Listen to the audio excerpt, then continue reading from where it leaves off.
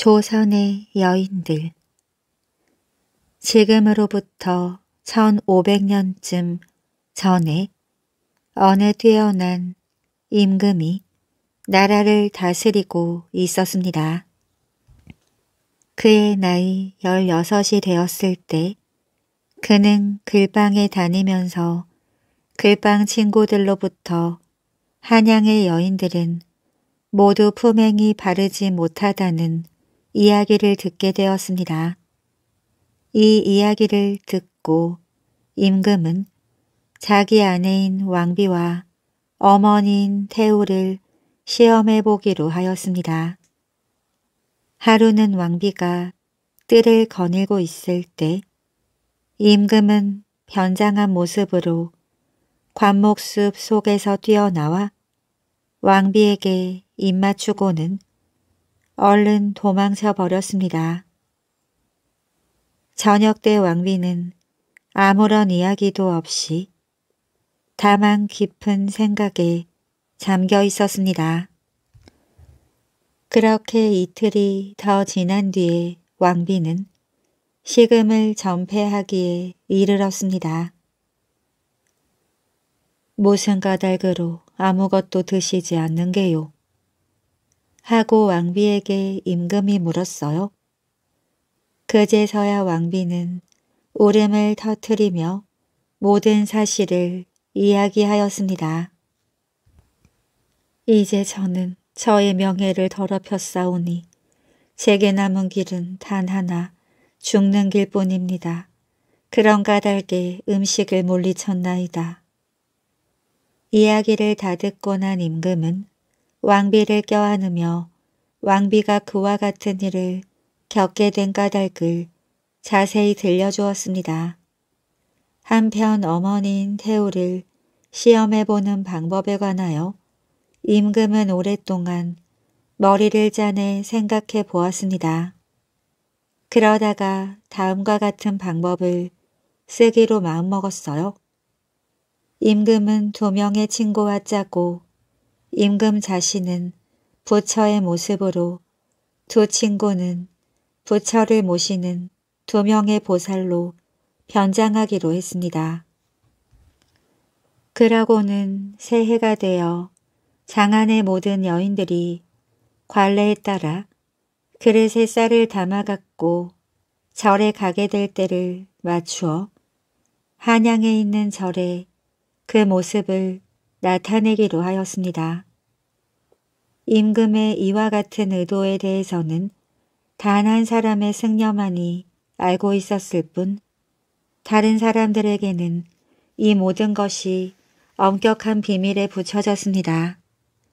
그런 까닭에 새해가 되어 모두들 불공을 드리고 있을 때 난데없이 절 안으로 부처와 두 명의 보살이 들어서자 승려들은 놀라 땅에 풀썩 주저앉으며 이렇게 외쳤습니다.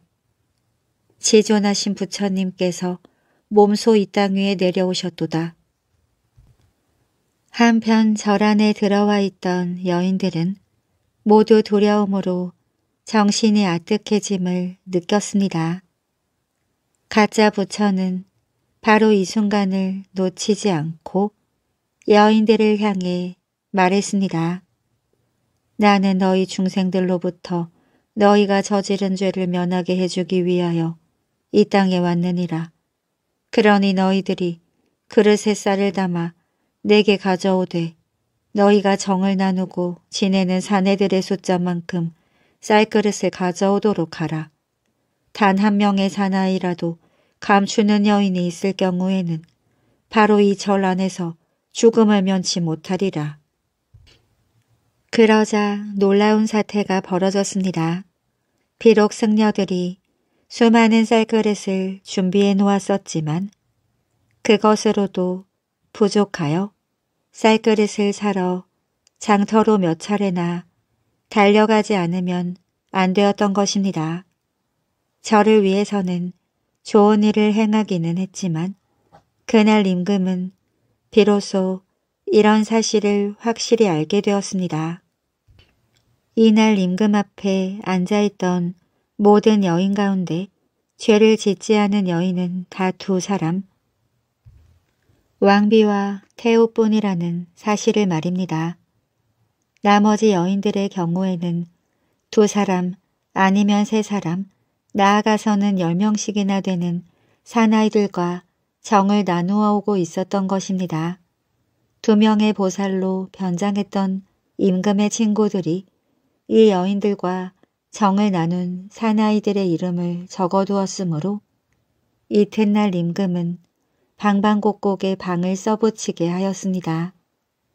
그 방에는 임금이 거느리고 있는 대신들이 한 사람마다 아내를 몇 명씩 두고 있으며 그 아내들은 정을 나누는 사나이들이 몇 명씩이나 되는가가 적혀 있었습니다. 그 후로는 이와 같은 사태가 발생하지 못하도록 하기 위하여 임금은 이를 교제하기 위한 법을 발표하였습니다.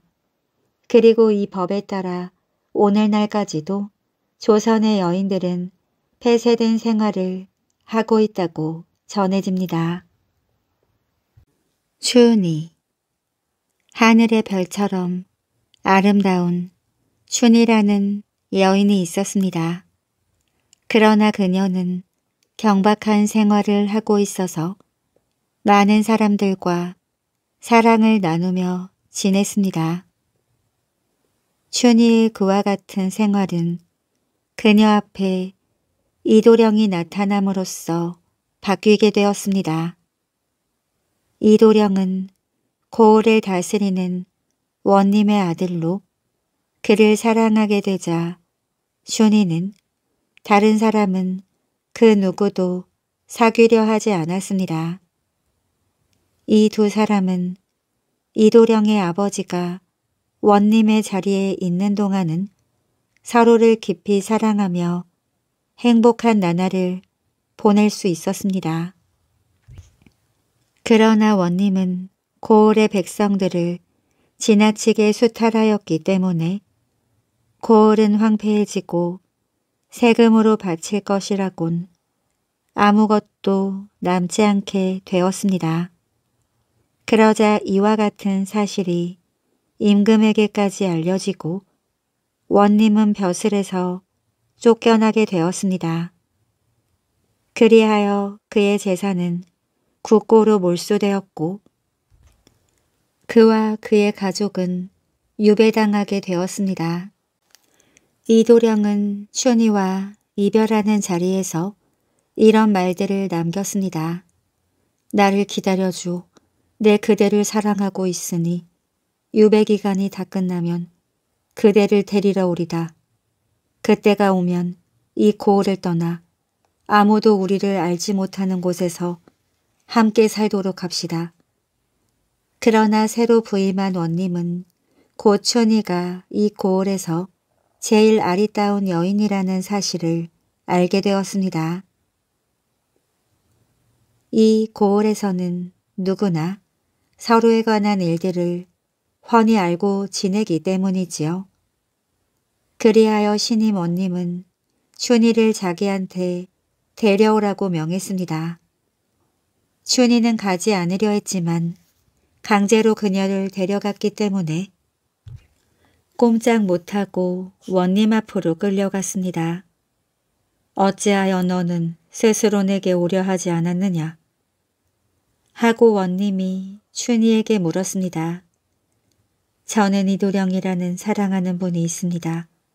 하온지라 더 이상은 다른 어느 누구도 사랑할 수가 없습니다. 어리석은 계집이로다. 하고 원님이 말했습니다. 너는 어여쁘고 젊으니 이도령이 너를 사랑한 까닭을 짐작할 수가 있도다. 허나 그는 너를 사랑할 만한 가치가 없는 자이니 이제부터 너는 날 사랑하게 될 것이다. 그러나 춘희는 이를 원치 않았고 원님의 제안을 모두 거절했습니다. 그러자 원님은 춘희를 감옥에 가두었어요. 하지만 이런 방법도 아무 소용이 없었습니다. 그러자 원님이 말했어요. 그 계집이 노파처럼 추한 모습이 될 때까지 날마다 몹시 매를 치도록 하라. 그리하여 옥졸들은 촌양이에게서 아름다움이 사라질 때까지 모진 매를 가하였습니다. 그제서야 원님은 촌이를 자유의 몸으로 풀어주라고 하였습니다. 촌이는 자기 집으로 돌아와 사랑하는 이를 기다리며 바깥 출입을 그만 채 살아갔습니다. 그 후 여러 해가 흐른 뒤 이 고을에 한 사나이가 나타났어요. 그는 주막에 머물면서 고을 사람들에 대한 이야기를 낱낱이 캐묻기 시작했습니다. 그리하여 그는 슈니에 대한 모든 사실을 알게 되었어요. 원님이 그녀를 얼마나 괴롭혔으며 지금은 그녀가 바깥 출입을 그만 채 자기 집에만 틀어박혀 살아가고 있다는 사실 등을 말입니다. 이야기를 듣고 난 그 사나이는 슈니의 집을 찾아가 문을 두드렸습니다. 내 가슴이 이처럼 두근거리는 것은 실로 몇 해 만의 일인가. 문을 두드리는 소리에 슈니는 이렇듯 혼잣말을 하며 직접 문을 열러 나갔습니다. 이 두 사람은 보는 순간 서로를 알아보았어요. 그 사나이는 바로 이 도령이었던 것입니다. 또한 놀랍게도 슈니는 그 순간 젊음과 눈부신 아름다움을 되찾게 되었습니다. 이들은 혐오스러운 원님이 살고 있는 이 고을을 등지고 떠났습니다. 그러고는 멀리 떨어진 곳에 정착하여 그동안 겪은 모든 불행을 잊고서 행복한 나날을 보냈다고 합니다.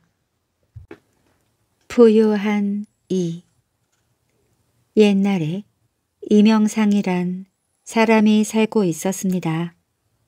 그에게는 12명의 아들과 딸이 하나 있었어요. 그는 매달 아들네 집을 번갈아 가며 방문하곤 하였는데 1년에 13달이 든 6년이면 13번째 달에는 딸네 집을 찾아가곤 하였습니다. 이명상에게 그 밖에 다른 일이라곤 아무것도 없었습니다. 그래서 모두들 그를 몹시 부러워하였습니다. 그런데 그의 무사태평한 생활에 대해서 사람들이 어찌나 많이 이야기를 하였던지 그에 관한 소문이 임금 귀에까지 들어가게 되었습니다. 임금은 아무 할 일 없이 지내고 걱정거리가 하나도 이가 대체 어떤 사람인지 관심을 갖게 되어 이명상을 데려오라고 명했습니다. 그대는 아무 하는 일도 없이 그대의 자식들네 집만을 찾아다닌다고 하던데 그게 사실인고. 예, 한 해에 들어있는 달수대로 자식들 집을 찾아다닐 수 있도록 하늘이 제게 열두 아들을 점지해 주셨사옵니다. 또한 윤달인 열세 번째 달인 등 경우를 위해서 딸을 하나 점지해 주셨사옵니다. 그런 까닭에 저는 매달 제 집이 아닌 다른 곳에서 지내고 있사옵니다. 그대는 그대의 일을 참 잘 해내고 있으니 그 상으로 이 구슬을 하나 주겠노라.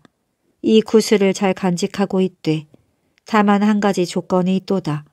어느 때건 내가 구슬을 찾을 때면 구슬을 반드시 몸에 지니고 있어야 하며 그렇지 않을 경우에는 그대에게 이롭지 못할 것이로다. 임금은 이명상을 돌려보낸 뒤 병졸에게 무슨 수를 써서든지 그에게서 구슬을 훔쳐내 갖다 버리라고 시켰습니다. 변장을 한 병졸은 이명상의 뒤를 밟아 나루터로 가 그의 보찜에서 구슬을 살그머니 꺼내 강물 속에 던졌습니다. 강을 건넌 이명상은 밤이 되자 어느 집에서 쉬어가기로 했습니다. 그러고는 그의 구슬이 무사한지를 살펴보려고 보찜 속에 손을 집어넣어 보았어요. 정말이지 임금이 그에게 구슬을 맡긴 그 순간부터 이명상에게서 무사태평함이란 흔적조차 찾아볼 수 없게 되었습니다. 지금은 다만 자기 구슬에 대한 생각으로 머릿속이 꽉 차 있었습니다. 그런데 보찜 속의 구슬이 없어지자 이명상도 비로소 커다란 슬픔과 근심을 알게 되었습니다. 사라져버린 구슬을 어떻게 찾을 것인가 하고 골똘히 생각하느라고 그는 온 밤을 꼬박 뗀 눈으로 지새웠어요. 그리하여 새벽녘이 되자 몹시 시장길을 느꼈습니다. 그때 마침 지나가던 어부의 외침 소리를 들은 그는 어부를 불러 그에게서 생선 한 마리를 샀습니다. 그런데 다음 순간 그의 기쁨이란 어찌 말로 다 할 수 있을까요? 생선을 다듬던 그는 생선의 뱃속에서 잃어버린 구슬을 발견했던 것입니다. 이런 일이 벌어지고 있을 때 임금은 이명상을 다시 데려오라고 명하였습니다. 병졸들이 그를 데려오자 임금은 그에게 엄한 태도로 물었습니다. 내가 그대에게 준 구슬은 어디에 있느냐?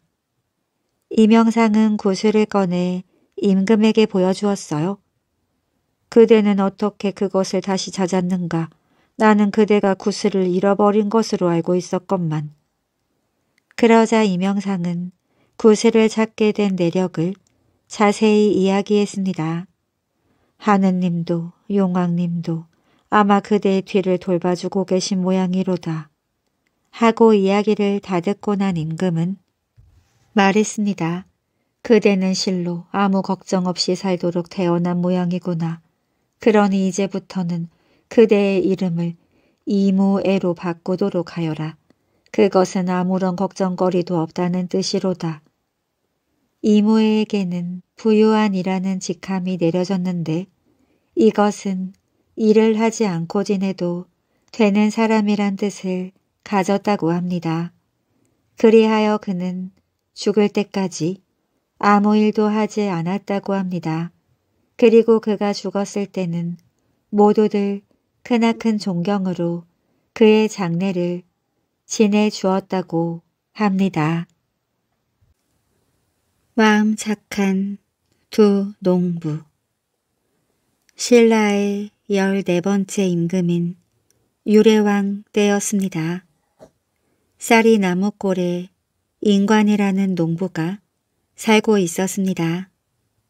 인관은 가진 것이라곤 손바닥만한 작은 땅밖에 없었지만 열심히 가꾸어 해마다 많은 수확을 거두었지요. 처음엔 무얼 심든지 수확이 좋지 않았습니다. 돌멩이와 모래가 많이 섞인 버려진 땅이었기 때문입니다. 그러던 땅이 인관의 온 가족이 나가 돌을 골라내고 봄마다 두 엄을 듬뿍 뿌려주자 얼마 안 가서 기름진 땅이 되었습니다. 인과는 그 땅에 삼시를 심었습니다. 비가 안 와 싹이 말라 들어가면 인과는 새벽부터 밭에 나와 멀리 떨어진 냇물에서 물을 길어다 싹이 잘 자라도록 보살폈습니다. 그래서 다른 집 밭 작물은 말라 죽어도 인관의 삶은 언제나 싱싱했지요. 오늘은 다 자란 삶을 베는 날입니다. 인관의 아내와 아이들이 밭에 쪼그리고 앉아 삶을 다발로 묻고 있습니다. 쌓여가는 삶 다발을 보면서 가족들은 마음이 흐뭇해집니다. 저렇게 잘 자란 삶은 처음 보겠어. 밭이 온통 꽉 찼네 그려. 그러게나 말일세. 그렇게 억척스럽게 일하더니 보람이 있구먼. 골 사람들이 인관의 산밭을 바라보며 부러운 듯 말했습니다. 인과는 가족과 함께 꼬박 한나절 동안 잘 자란 삶을 골라서 배웠습니다. 오늘 벤 삶은 몰래질을 해서 삼실로 만들어 내다 팔 작정입니다. 천으로 만들어 파는 것보다는 값이 덜 나가지만 양식이 다 떨어져 가니 할 수 없었습니다. 인관의 아내는 몰래질과 길쌈의 명수입니다. 워낙 많이 해보아 다른 집 안하게 두 배는 빨리 천을 만들어내지요. 삼 껍질을 손톱으로 가르면 회백색 삼실이 만들어집니다. 그 실을 배틀에 놓고 짜면 삼배가 되지요. 장날이 오자 인과는 삼실을 정성스럽게 보자기에 싸서 등짐을 만들어 집을 나섰습니다. 인관의 아내는 문 밖으로 남편 배웅을 나와 천으로 만들어내다 팔면 곡식을 두 배는 더 살 수 있을 텐데 하며 아까워 했습니다. 인관이 살고 있는 쌀이 나무골에서 동쪽으로 고개를 하나 넘으면 꽃샘 마을이 나옵니다. 나리꽃이 예쁘게 피는 곳에 맑은 샘물이 있어 꽃샘 마을이라고 부르지요. 이 마을에 서조라는 농부가 살았습니다. 서조는 키가 껑충하게 크고 눈매가 서글서글해서 첫눈에 보아도 마음씨가 좋아 보입니다. 서조는 해마다 밭에 조를 심었습니다. 서조도 인관 못지않게 열심히 일했습니다. 마을 사람들은 모두 입을 모아 서조를 칭찬했어요. 서조는 사람 좋고 일 잘하는 우리 마을의 보배야. 아무렴. 청년들이 나쁜 짓을 하려다가도 땀 흘려 일하는 서조를 보면 뉘우치고 밭으로 가서 일을 하는 것만 봐도 알 수 있지. 서조는 상을 받아도 아주 큰 상을 받아야 할 걸세. 서조의 밭에서 자란 조는 서조를 닮아 키가 크고 나달도 묵직하게 열렸습니다. 노랗게 잘 여문 조 이삭이 가을바람에 일렁이는 것을 보고 있노라면 서조의 마음은 기쁨으로 꽉 차올랐지요. 오늘은 조를 거두어 드리는 날입니다. 베어서 밭에 세워두었던 조의 이삭을 잘라 도리깨로 나다를 떨어냈습니다. 가을볕에 잘 마른 조를 이젠 방아에 넣어 찢기만 하면 되지요. 드디어 방아에서 윤기가 자르르 흐르는 찰진 조가 쏟아져 나옵니다. 서조는 조를 장에 내다 팔아 삼시를 사기로 마음먹었습니다. 옷이 너무 오래돼서 여름을 시원하게 지내려면 옷을 새로 만들어야 하기 때문이지요. 특히나 늙으신 어머니는 더위를 잘 못 견디기 때문에 이번 여름에는 꼭 시원한 삼배옷을 장만해 드려야 합니다. 아이들도 더위를 먹지 않게 하려면 삼배옷이 필요하지요. 서조는 조를 집어넣은 자루를 어깨에 짊어지고 집을 나섰습니다. 집을 나서 장으로 가던 인관과 서조는 장터로 들어서는 길목에서 서로 마주쳤습니다. 서조가 인관에게 말을 붙였습니다. 등짐을 지고도 성큼성큼 가볍게 걸어오는 걸 보니 그 보따리 안에 들어있는 게 삼실이 모양이구려. 인관도 웃으며 말했습니다. 맞소. 그런데 작은 자루에 메고도 쩔쩔 매는 걸 보니 그 자루 속에 든 건 조나 소소 같은 곡식이 틀림없을 것 같소이다. 하하, 둘 다 잘 맞췄구려. 이 자루 속에 든 건 방금 지은 잘조입니다. 마침 두 사람이 사려던 것과 맞아 떨어진 것입니다. 그래서 인관과 서조는 그 자리에서 삼실 보따리와 조가 담긴 자루를 맞바꾸었지요. 이렇게 쉽게 좋은 삼실을 얻게 되어 여간 기쁘지 않습니다. 서조가 말했습니다. 나도 마찬가지입니다. 자 그럼 다음에 또 만나기로 하고 잘 가십시오. 예, 살펴가십시오. 두 사람은 헤어져 각자 집으로 돌아갔습니다. 집으로 돌아온 서조는 메고 있던 삼실 보따리를 마당에 내려놓았어요. 그리고 방 안에 계신 어머니께 잘 다녀왔다는 인사를 하였습니다.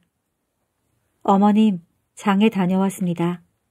어머니가 방문을 열었습니다. 그래, 삼배 옷을 만들 실은 구해왔느냐? 예, 운이 좋아 아주 좋은 걸로 구했습니다. 서조의 말이 떨어지기가 무섭게 어디서 날아왔는지 커다란 소리개가 마당으로 날아들었습니다. 그리고는 마당에 내려놓았던 삼실 보따리를 두 발로 낚아채더니 어디론가 날아가 버렸어요. 아니 저걸 어째 어머니가 버선발로 뛰어나왔지만 이미 소리개는 보이지 않았습니다. 한편 인과는 찰진 조로 막 지은 점심을 맛있게 먹고 있었어요. 여보, 밥에 윤기가 잘잘 넘치는 게 조가 너무 좋아요.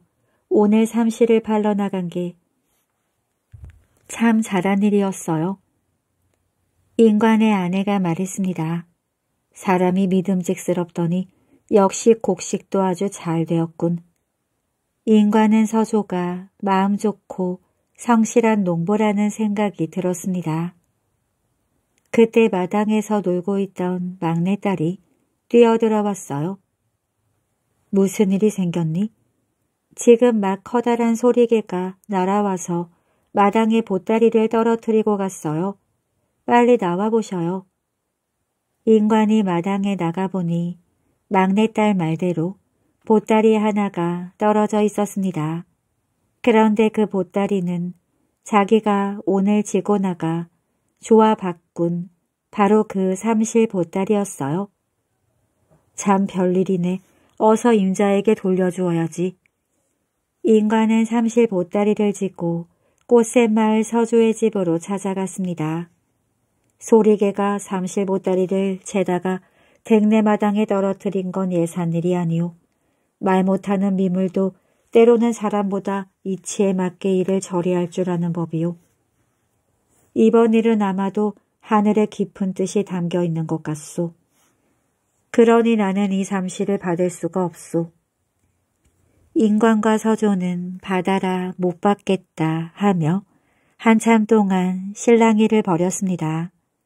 서조가 끝내 고집을 꺾지 않았으므로 인관은 할수 없이 삼실 보따리를 가지고 집으로 돌아왔지요.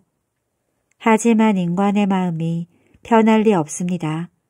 어떻게 하면 돌려줄 수 있을까 하고 그날 밤 내내 끙끙거리며 고민을 했습니다. 조와 삼실을 두 가지 다 갖는다는 것은 도저히 양심이 허락치 않았습니다.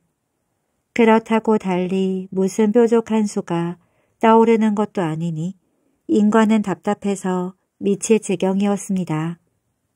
인과는 다음날 다시 한번 서조를 찾아갔어요. 조는 원래 대개 물건이었으니 조를 돌려드리면 어떻겠소. 그러나 이번에도 서조는 고개를 가로저었습니다. 조는 이미 대개게 판 것이니 나와는 아무 상관이 없는 물건이오. 그러면 나더러 조와 삼실 두 가지를 다 가지란 말이오. 인과는 버럭 화를 내고는 서조의 집을 나왔습니다. 그리고는 서조와 만났던 장터로 들어서는 길목에 삼실과 조를 내버리고 집으로 돌아갔어요. 장터를 오가던 사람들은 낯선 보따리 두 개를 보고 처음엔 누가 잠시 놓아두고 볼일을 보러 갔겠거니 하고 생각했습니다. 그런데 날이 저물고 다음날 낮이 되었는데도 보따리는 그대로 길에 버려져 있었습니다. 사람들이 보따리를 풀어보니 그 속에는 조와 삼실이 들어있었어요. 참 별일도 다 있네. 이렇게 좋은 조와 삼실을 누가 놓고 갔을까? 임자가 나타나면 돌려주려고 사람들은 조와 삼실을 가져다 대장간에 보관해 두었습니다. 동무들과 함께 장에 놀러왔던 인관의 막내딸이 마침 대장간 앞을 지나가다가 삼실 보따리를 가리키며 말했습니다. 저 삼실은 우리 건데 이 말을 들은 대장장이가 막내딸에게 무슨 소리냐고 물었지요. 막내딸은 그동안 아버지인 인간과 꽃샘마을 서주 아저씨 사이에 있었던 일들을 얘기했습니다. 대장장이는 만나는 사람마다 이 이야기를 들려주었어요. 삽시간의 장터는 말할 것도 없고 가까운 고을까지 소문이 돌았지요. 소문이야 돌든 말든 인관과 서조는 아무 일도 없었다는 듯이 농사일에 여념이 없었습니다. 장터의 대장장이는 마냥 삼실과 조를 맡고 있을 수가 없어서 방앗간집 아저씨와 함께 인관과 서조를 찾아가기로 했습니다. 먼저 인관의 집에 들러 물건을 찾아가라고 했어요. 그러자 인관은 그것은 이미 나의 손에 떠난 물건이요. 어려운 사람이 있으면 도와주는 데 써주십시오. 인관으로부터 이 말을 듣고 난 뒤 이번에는 서조의 집으로 찾아갔습니다. 조와 삼실은 제 것이 아닙니다. 장터에서 구걸하며 사는 아이들을 도와주는 데 썼으면 좋겠습니다. 대장장이와 방앗간 아저씨는 인관과 서조에게서 똑같은 이야기를 듣고 탐복했습니다. 두 사람 다 어쩌면 그리 마음이 고들까? 마음 씀씀이도 여간 고운 게 아니요. 대장장이와 방앗간 아저씨는 장에 모인 사람들에게 인관과 서조를 만나고 온 이야기를 해주었습니다. 그리고 부모도 없이 장터를 돌아다니며 밥을 얻어먹고 다니는 아이에게 조화 삼시를 주었지요. 사람들은 인간과 서조에게 아낌없는 박수를 쳐주었습니다. 에밀레 종 어느 작은 마을에 어머니와 어린 딸이 살고 있었습니다. 집은 다 쓰러져가는 초가집이었어요. 진흙에 수수깡을 섞어 비벼서 만든 담벼락이 군데군데 움푹 패여 있어 주먹으로 한 번 꽝 치면 무너져 버릴 것만 같았습니다. 지붕의 초가는 몇 년씩이나 갈지 못해 시커멓게 썩었습니다. 비만 오면 집단 섞은 물이 추녀 끝에서 뚝뚝 떨어집니다. 냄새도 아주 고약했지요. 다 썩은 지붕에서 쥐들은 용케도 잘 살아갑니다. 밤만 되면 쥐들은 제 세상이라도 만난 듯 와당탕 거리며 먹이를 찾아다닙니다. 이런 집에서 어머니와 어린 딸은 살고 있었습니다. 추운 겨울이 왔어요. 눈이 아주 많이 내렸습니다. 마을이 온통 새하얗습니다. 다 쓰러져가는 이 집 지붕 위에도 하얗게 눈이 덮여 멀리서 바라다 보면 너무 아름다웠습니다. 꼭 그림 엽서에 나오는 집처럼 포근해 보였어요. 어린 딸이 우는 소리가 들려옵니다. 배가 고파서 우는 소리입니다. 조금만 참아 엄마가 좀 있다가 돌시기네 가서 감자 몇 개 얻어다가 맛있게 삶아줄게. 감자 소리가 어머니 입에서 나오자 달래는 울음을 뚝 그치고 쌩긋 웃습니다. 하지만 어머니는 걱정입니다. 옆집 돌시긴에서 벌써 몇 번을 구워왔는지 모릅니다. 그것도 아직 갚지 못했는데 또 가서 사정하는 게 염치 없는 것 같아 어머니는 이러지도 저러지도 못하고 있습니다. 달래가 다시 어머니 치마를 붙들고 늘어지며 징징거리기 시작합니다. 감자죠. 어머니의 눈에는 이슬처럼 눈물방울이 맺혀옵니다. 우리 어린 달래 하나 배불리 먹이지 못하다니. 오늘은 달래의 네 번째 생일입니다. 그래서 어머니는 오늘 아침 마지막으로 남아있던 수수 두어 주먹을 무척 말린 시래기에 넣어 죽을 끓였습니다. 그것으로나마 달래와 어머니는 참으로 오랜만에 배를 채울 수 있었지요. 조금 남겨두었다가 점심때 달래에게 먹였습니다. 매일같이 생일이었으면 좋겠다 엄마. 달래의 얼굴에는 생기가 돌았습니다. 하지만 저녁이 가까워오자 달래는 다시 배가 고팠어요. 밥과는 달리 죽은 아무리 배불리 먹었더라도 금방 소화가 되어버리고 맙니다. 아무리 배가 고파도 어쩔 수 없이 참아야만 합니다. 이젠 양식이 하나도 남아있지 않습니다. 초겨울까지만 해도 감자, 쌀, 소소 같은 양식이 있어 그런대로 배는 골지 않을 수 있었습니다. 어머니가 봄부터 가을까지 내내 남의 집 일을 해주고 받은 것을 모아둔 것이지요. 뒷마당에 심은 감자도 올해는 제법 수확이 되었습니다. 하지만 그것만으로 겨울을 난다는 것은 불가능한 일이었습니다. 당장이라도 일거리가 있다면 무엇이라도 할 것입니다. 하지만 지금은 농한기인 겨울철이어서 마을 사람 모두가 놀고 있을 때입니다. 그러니 아무리 눈 씻고 찾아봐도 일거리는 없습니다. 초겨울이 지나고 겨울이 깊어지자 양식도 떨어졌습니다. 얼마 동안은 마음 쉬고 온 이웃집에서 내년에 일을 해서 갚기로 하고 구워다 먹을 수 있었습니다. 하지만 그것도 한두 번이지 노상 그럴 수는 없는 노릇입니다. 이웃집들이라고 해서 양식이 남아도는 건 아니기 때문입니다.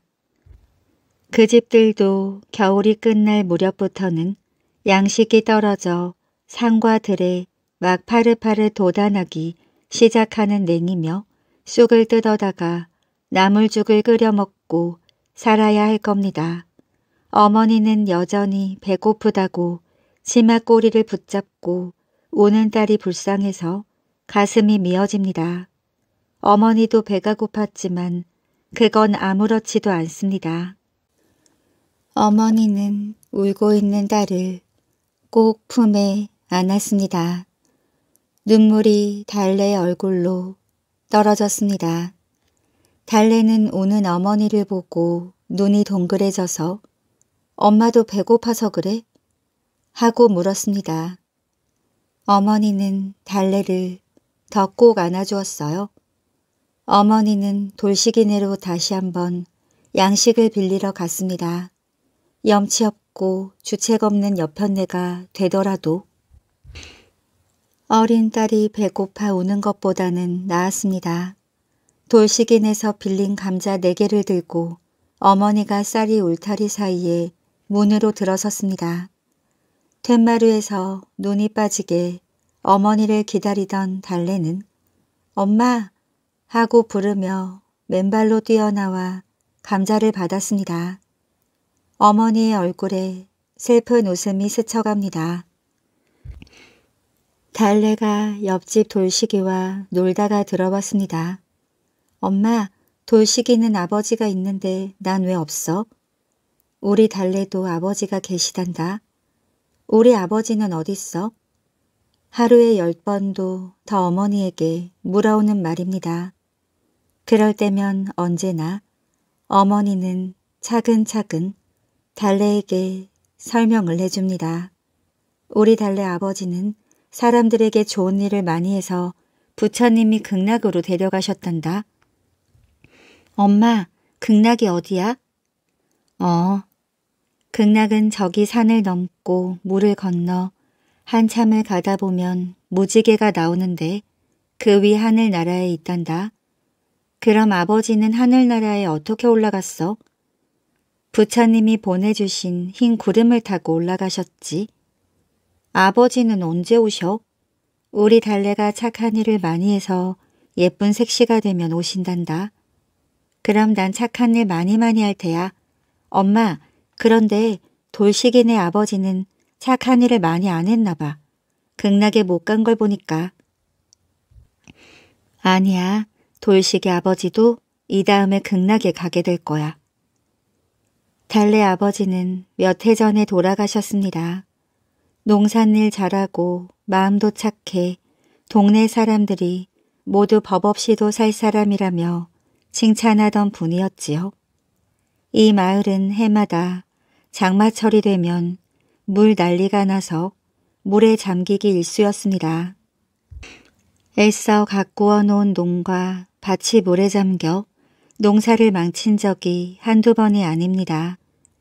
그래서 마을 어른들이 모여 의논한 결과 산자락 밑에 있는 늪을 바닥도 파내고 둑도 세워서 커다란 저수지를 만들기로 하였습니다. 봄이 되자 마을 사람들은 모두 팔을 걷어붙이고 저수지 만드는 일을 시작하였습니다. 할아버지, 할머니, 아낙네들까지 모두 모였습니다. 아이들도 작은 돌을 나르는 일쯤은 거들어야 했지요. 달래 아버지는 누구보다도 열심이었습니다. 커다란 돌로 독을 세우는 것은 아주 힘든 일이었는데 그 일을 달래 아버지가 거의 도맡다시피 하였습니다. 늪 바닥의 흙을 지게에 져서 퍼다 버리면서 사람들은 말했습니다. 달래 아버지가 없었으면 저수지를 만들 생각은 아예 하지도 못했을 거야. 그러면 달래 아버지는 웃으면서 대답했습니다. 웬걸요? 제가 한 일이 뭐가 있다고 그러세요? 달래 어머니도 남에게 말은 하지 않았지만 남편이 믿음직스럽고 자랑스러웠습니다.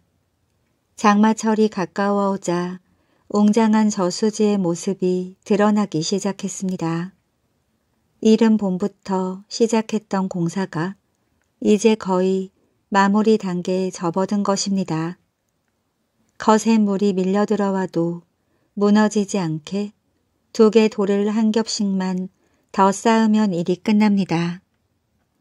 마을 사람들은 저수지만 보면 자기 자식이라도 얻은 것처럼 흐뭇했습니다. 그래서 틈만 생기면 어른이고 아이고 할 것 없이 저수지에 나와서 어디 잘못된 곳이라도 없나 살펴보았습니다. 그날도 달래 아버지는 동네 장정들과 함께 돌을 날라다 둑을 쌓고 있었습니다.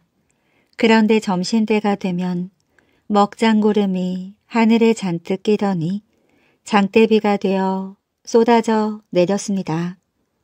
천둥번개가 치고 비는 점점 거세어졌어요. 심상치가 않았습니다. 그 다음 날이 되어도 빗줄기는 잦아들지 않았습니다. 다른 해보다 빨리 장마철이 다가온 것입니다. 완성되지 않은 저수지에 빗물이 차올랐습니다. 잘못하면 둑이 무너져 버릴지도 모를 일이었습니다. 마을 사람들은 비를 맞으며 초조하게 저수지 둑 위에 서 있었습니다. 모두 한마음으로 부처님께 빌고 또 빌었지요. 마을 사람들이 할 수 있는 일은 그것밖에 없었습니다. 부처님, 제발 비를 그치게 해주십시오. 나무 관세음보살. 몇 사람씩 돌아가면서 밤낮을 가리지 않고 둑을 지켰습니다. 그날 밤 달래 아버지는 밤새도록 둑을 지켰어요. 하지만 너무 어두웠기 때문에 구할 길이 없었습니다.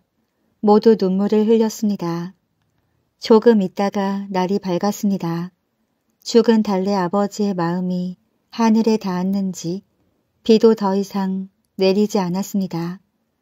저수지도 마을도 논밭도 달래 아버지의 희생으로 모두 모사했습니다. 달래 아버지는 이렇게 마을 사람들을 위해 자기 목숨을 바친 것입니다.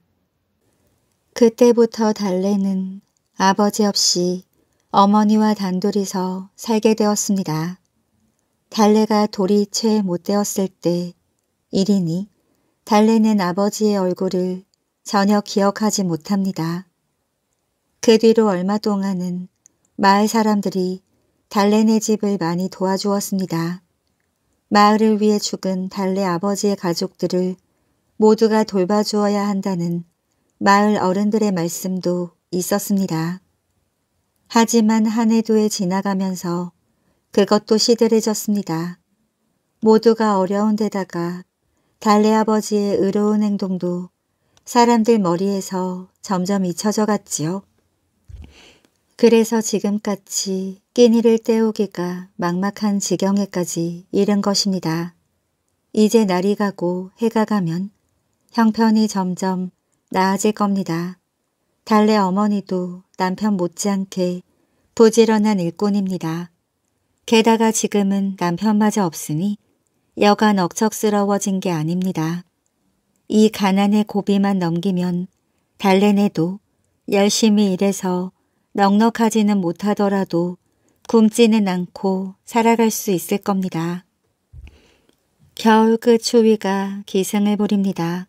봄이 올 듯 올 듯 하면서도 여간에서 오지 않고 있습니다. 달래는 아랫목 이불 속에 엎드려 어머니에게 옛날 이야기를 듣고 있습니다.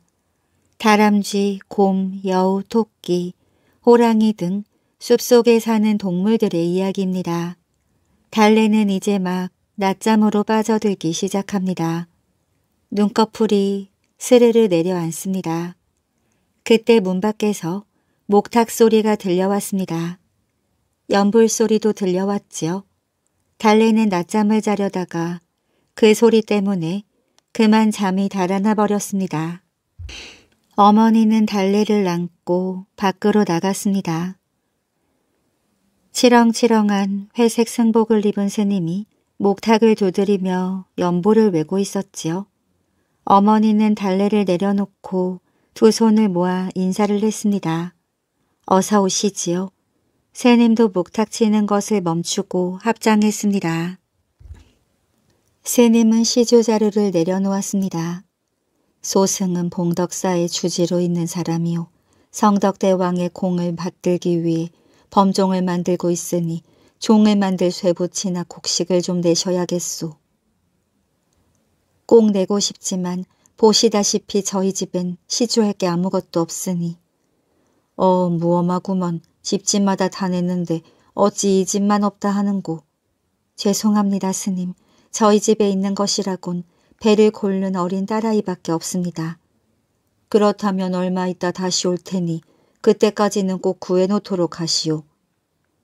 새님은 노발대발하면서 다른 집으로 시주를 받으러 갔습니다. 성덕대왕이 얼마나 좋은 일을 많이 했는지는 몰라도 그의 업적을 기리는 범종을 만드는데 이렇게 끼니도 잊지 못하는 가난한 집에서까지 시조를 꼭 받아야 하는 건지 정말 모를 일입니다. 새님이 마을을 한 바퀴 돌며 집집마다 시주를 받고 돌아가자 마을 사람들은 저마다 불평이 대단하였습니다. 글쎄 보리를 한 대빵 댔더니만 겨우 욕을 내냐면서 면박을 주지 않겠어요? 백성들은 제대로 먹지를 못해서 진이 다 빠져 있는데 곡식을 내라 쇠붙이를 내라 어디 말이 되는 소리요? 그것도 한 번이면 말을 하네. 벌써 몇 번째인지 몰라. 부처님이 노할 일이지 언제 부처님이 가난한 사람들 양식 뺏어다 종 만들라고 가르친 적이 있나? 12만 근이나 되는 어마어마하게 큰 종이라지요. 우리 부처님은 아마 이 범종 만드는 일을 반대하실 거야. 틀림없어. 부처님은 자비를 베풀라고 했지 남의 것을 빼앗으라고 가르치지는 않았지. 달래 어머니는 며칠 뒤에 다시 찾아오겠다는 주지의 말이 떠올라 걱정이 되었습니다. 시주를 하지 않으면 어찌 된답니까? 나중에 세금도 많이 물게 되고 절에도 오지 못하게 한다지 아마. 이런 일이 있고 나서 어느새 두어 달이 지났습니다. 시주를 받으러 오겠다던 봉덕사의 주지는 다른 곳을 돌아다니느라 바빠서 그랬는지 오지 않았습니다. 봄이 왔습니다. 앞산 뒷산에 노란물이 들기 시작하더니 곧 연두색으로 다시 진달래꽃이 만발한 붉은 산이 되었습니다. 밭을 갈고 씨를 뿌리느라 새벽녘에 모두 일을 나가고 나면 마을은 하루 종일 한밤처럼 고요합니다. 달래는 돌시계와 함께 어머니가 일하고 있는 밭두렁에서 들꽃을 따서 목걸이를 만들고 새도 쫓아다니면서 해가 질 때까지 놉니다. 저녁 때가 되면 꼬질꼬질 흙토성이가 된 달래의 몸에서 향긋한 풀냄새가 납니다. 하루는 달래 어머니가 몸살 기운이 있어 밭에 나가지 못했습니다. 그동안 몸을 돌보지 않고 무리하게 일을 했기 때문이지요. 점심 때쯤 되어 목탁 소리와 연불 소리가 들려왔습니다. 전에 왔던 봉덕사의 주지였어요. 달래 어머니가 문간으로 나가자 목탁 두드리기를 멈추고 말했습니다. 전에 받지 못한 시주를 받을까 해서 왔소이다. 오늘은 말하는 게 좀 능청스러워 보입니다. 어찌 된 일인지 시주 자료도 보이지 않습니다. 예, 보리를 조금 준비했으니 받아가시지요. 이제 그런 시주는 필요 없게 되었소. 무슨 말씀이신지. 벌써 범종을 만들 쇠보치와 일하는 사람들에게 줄 품삯은 다 마련되었소. 그렇다면 무엇을 시주하란 말씀이십니까? 그러니까 주지는 머뭇거리며 말하기를 주저했습니다. 그대의 딸아이를 시주로 받을까 하오. 부처님의 뜻이니 따르는 게 좋을 거요. 달래 어머니는 눈이 휘둥그레지며 놀랐습니다. 스님들은 전국을 돌아다니며 쇠보치를 충분히 모은 뒤에 나라 안에 내놓으라 하는 공예가들을 다 불러 모았습니다. 그 사람들은 금속을 다루는 최고의 기술자들입니다. 공예가들은 쇳물의 온도를 잘 맞추어 정성스레 만든 틀에 부었습니다. 쇳물이 굳어 종이 되었지요. 그러나 그 종은 금이 간 종이었습니다. 공예가들은 무엇이 잘못돼서 그런지 알 수가 없었어요. 그래서 다시 한번 쇳물을 끓여 틀에 부었습니다. 그러나 이번에 만들어진 종에서는 사발 깨지는 듯한 듣기 싫은 소리가 나서 모두 귀를 막았습니다.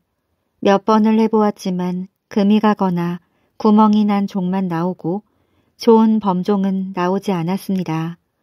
봉덕사 범종 만드는 일을 총지휘하는 왕의 어머님 만월 부인은 노발대발 화를 냈습니다. 성스러운 종을 만드는데 누가 부정한 짓을 한 것이라며 봉덕사 주지에게 잘 알아서 조처를 취하라고 일렀지요. 봉덕사 주지는 밤잠을 설쳐가며 고민에 빠졌지만 왜 그런지 도무지 알 수가 없었습니다. 새벽까지 범종 생각을 하다가 잠이 들었어요. 주지는 꿈을 꾸었습니다. 보통 때도 꿈을 자주 꾸는 편인 주지는 특히 허무 맹랑한 꿈을 많이 꿉니다. 그런데 그것을 모두 부처님의 계시라고 믿어버리는 것이었습니다. 오늘은 종생각을 너무 많이 해서인지 그것과 관련된 꿈을 꾸었습니다. 글쎄 하얀 수염이 무릎까지 내려오는 도사처럼 생긴 노인이 나타나서는 조지를 달래내 오두막집으로 데려가는 것이었어요. 그러더니 이 집에서 내놓은 시주가 있어야 범종이 아무 탈 없이 만들어질 거라고 말했습니다. 딸 하나밖에는 아무것도 없는 집인데 무엇을 시주받아야 합니까? 하고 주지는 노인에게 물었습니다. 바로 그 여자아이가 필요하느니라. 그 여자아이를 쇠물 속에 넣고 종을 만들어야 깨끗하고 맑은 소리를 얻을 수 있느니라. 하고 말했습니다. 주지는 꿈속의 노인 말을 고지 곧대로 믿었지요. 그래서 오늘 달래를 시주받으러 부랴부랴 달려온 겁니다. 말이 시주이지 달래를 수천 도나 되는 펄펄 끓는 쇳물에 넣어서 죽이겠다는 이야기지요. 뻔뻔스럽게 아이를 내놓으라고 말하는 주지를 달래 어머니는 악을 써서 내쫓았습니다. 도저히 참을 수 없었습니다. 사랑하는 딸을 죽이겠다고 찾아온 사람을 누가 그냥 놔두겠나요? 누가 생각해봐도 말이 안 됐습니다. 그러나 꿈에서 본 것을 무조건 부처님의 말씀이라고 믿는 어리석은 주지는 그대로 물러나지 않았습니다. 주지는 그 길로 만월 부인에게 가서 그 아이를 쇳물에 부으라는 부처님의 계시를 받았다며 꿈 이야기를 들려주었습니다. 그리고 병사를 보내 강제로라도 달래를 데려와야 한다고 말했습니다. 만월 부인 역시 부처님 얘기만 나오면 무조건 믿는 사람이라 주지의 뜻대로 하도록 허락하였습니다. 주지는 다음 날 병사들을 거느리고 달래네 집으로 다시 왔습니다. 달래를 순순히 내놓지 않으면 병사들로 하여금 강제로 끌고 가게 하겠노라고 위협을 했습니다. 어머니는 달래를 꼭 부둥켜 안고 눈물을 철철 흘렸습니다. 방문을 잠궜어요. 달래는 영문도 모른 채 악을 쓰며 울어댔습니다. 조지는 방문 앞에서 소리쳤습니다. 부처님의 뜻을 감히 어기겠느냐. 부처님은 자비로우신 분이지 어린아이를 죽이는 잔인한 악마가 아니다. 이놈들아 썩 물러가거라. 누구한테 감히 욕지거리를 얘들아 방문을 부수고 들어가 아이를 잡아오너라. 마침내 병사들은 기다란 창으로 방문을 부수고 들어가 어머니에게서 달래를 떼어냈습니다. 어머니는 죽을 힘을 다해 달래를 꼭 붙잡고 있었지만 달려드는 힘센 병사들을 막을 수는 없었습니다. 달래를 빼앗기자 어머니는 정신을 잃고 말았습니다. 달래는 발버둥을 치며 어머니를 불러댔어요. 그렇지만 기절한 어머니는 꼼짝도 하지 않았습니다. 울타리 너머로 이 광경을 지켜보고 있던 마을 사람들은 모두 가슴이 아파 눈물을 흘리고 있습니다. 그러나 할 수 있는 일이 아무것도 없습니다. 생각 같아서는 장대나 부지깽이라도 들고 나와 병사들을 쫓아버리고 달래를 지켜주고 싶었습니다. 하지만 병사들이 창을 들고 나와 담을 빙 둘러서서 아무도 더 이상 가까이 오지 못하게 하였습니다. 더구나 거의 모두가 밭에 나가고 마을엔 노인들이나 아이들밖에는 없었지요. 결국 달래는 병사들에게 안겨 끌려가고 말았습니다. 그리고는 부글부글 끓는 그 뜨거운 샘물에 던져졌습니다. 어머니에게서 떨어질 때부터 줄곧 들리던 달래의 울음소리도 그 순간 뚝 끊겼습니다. 샘물에 던져진 달래의 작은 몸은 순식간에 녹아 형체도 없이 사라져 버렸습니다. 종이 다 만들어졌습니다. 달래 때문인지 아니면 우연인지 이번에는 금이 가지 않았습니다. 종각에 종을 걸고 이제 종을 쳐보는 순서입니다. 조지가 첫 종을 쳤습니다. 댕 하고 맑은 종소리가 온 나라에 울려 퍼졌습니다. 아무도 이런 아름다운 종소리를 들어본 적이 없어 탄성을 질렀습니다. 그때였어요. 댕 하고 울리던 종소리가 에밀레 에밀레 하는 아이의 울음소리로 바뀌는 것이었습니다. 그것은 달래의 울음소리였습니다. 자기를 죽인 나쁜 사람들을 원망하는 울음소리였지요. 보고 싶은 어머니를 부르는 소리였습니다. 에밀레 종소리를 들은 사람들의 가슴은 갈갈이 찢어졌답니다. 바위에 깔린 용 백두산 자락 끝에 있는 집에서 사내 아이가 태어났습니다. 울음소리도 우렁찬 것으로 보아 건강한 아이임이 분명했습니다.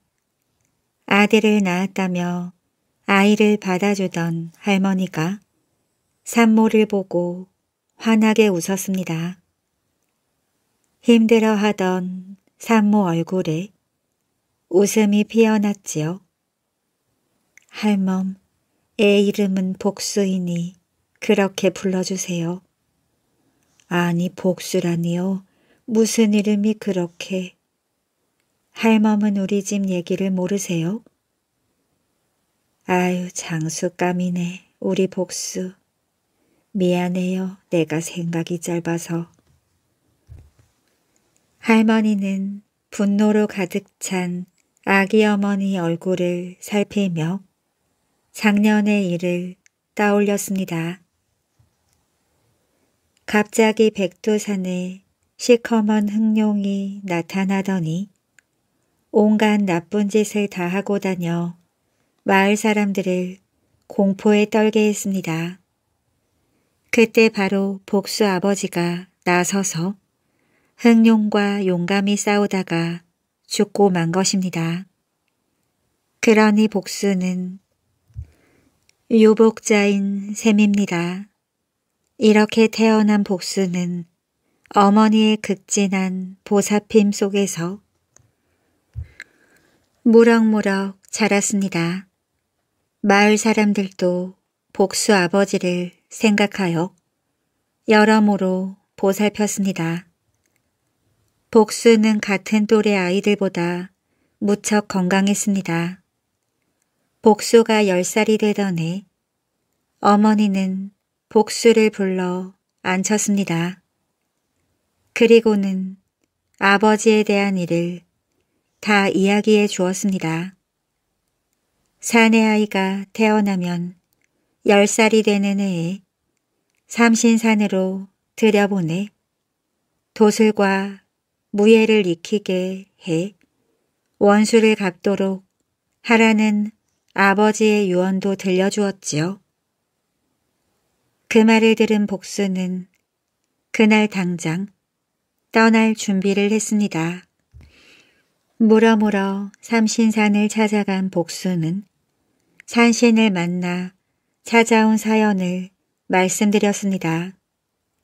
산신은 어린 복수를 처음에는 대수롭지 않게 여겼습니다. 그렇지만 복수가 끈기 있게 도술과 무예를 배울 수 있게 해달라고 매달리자 복수의 모습을 찬찬히 살펴본 산씨는 보통 아이들과는 다르다고 생각하고 말했습니다. 좋다. 그럼 먼저 복내산으로 떠나라. 거기서 3년 동안 돌을 닦은 뒤 방장산으로 가라. 또 거기서 3년 동안 무예를 익히고 마지막에 다시 영주산으로 가 권법을 배우도록 하여라. 할 수 있겠느냐? 예, 물론입니다. 굳은 결심을 한 복수는 세생들의 고된 수련을 차츰차츰 익혀갔습니다. 어려운 일도 많았지만 자기를 기다리는 어머니와 마을 사람들을 생각하며 힘든 과정을 이겨갔습니다. 아홉 해가 지나서야 산신은 복수에게 이제는 됐다며 산을 내려가도 좋다고 했습니다. 아홉 해 동안의 수련 기간은 어머니에게도 무척 긴 세월이었어요. 어머니는 복수가 떠난 뒤로 날마다 동구 밖으로 나와 복수를 기다렸습니다. 그러던 어느 날 어머니가 부엌을 정리하고 나오는데 난데없이 마당에 건강한 젊은이가 훌쩍 날아와 섰습니다. 어머니, 어머니는 자신의 귀를 의심했습니다. 아니 내가 내 아들 복수란 말이냐? 키가 구척은 넘어 보이는 장수가 자기 아들이라곤 생각하지 못했습니다. 어머니는 건장한 청년에게서 복수의 어릴 적 모습을 찾아내곤 갑자기 그 자리에 꼼짝도 않고 서 있었습니다. 그리고는 얼싸안고 반가움을 나누었지요. 그 모습을 보고 마을 사람들이 복순의 마당으로 모였습니다. 그래, 그동안 익히고 배운 재주는 충분하냐? 복수는 그동안 지내온 일들을 얘기했습니다. 그렇게 얘기를 한 복수는 사람들 눈에서 사라졌어요. 그리고는 사람들이 복수를 부르면 나왔습니다. 마을 사람들과 어머니는 복수가 자랑스러웠습니다. 복수는 또 뒤편에 있는 집채만한 바위를 주먹으로 툭 쳐서 떨어뜨렸습니다. 마을 사람들은 복수가 부리는 재주를 보고 입에 침이 마를 정도로 칭찬했지요. 그래, 이제는 마을 사람들과 아버지 원수를 갚을 준비가 되었구나. 복수를 갚을 때까지 어미 앞에 나타날 생각은 말아라. 어머니는 엄한 태도로 말했습니다. 마을 사람들은 9년 동안 떨어져 있었으니 며칠 있게 한 다음에 보내라고 했지만 어머니는 다음 날 날이 밝기 무섭게 복수를 떠나보냈습니다. 그렇게 당당하던 어머니도 복수를 보내고 들어와서는 하염없이 눈물을 흘렸습니다. 어머니를 뒤로 한 채 복수는 원수를 찾아 백두산으로 올라갔지요. 봉우리 가까이에 이르자 갑자기 주변이 컴컴해지더니 하늘에서 주먹만한 우박이 쏟아져 내렸습니다. 하늘의 시커먼 구름 속에는 흑룡이 한 마리 들어앉아 눈을 부릅뜨고 있었어요. 자, 내 불을 받아라. 벼락같이 소리친 흑룡은 커다란 입을 벌려 불을 쫙쫙 뿜어댔습니다. 흑룡의 불길이 닿는 곳에는 바위조차 구멍이 뻥뻥 뚫어졌지요. 복수는 성사량 인도를 지켜들고 하늘로 솟구쳤습니다. 하지만 칼소리만 요란할 뿐 흑룡은 꼼짝도 하지 않았어요. 흑룡도 오랜만에 강자를 만났다고 긴장했습니다. 흑룡이 솟아오르며 꼬리로 복수를 감아치려 했어요.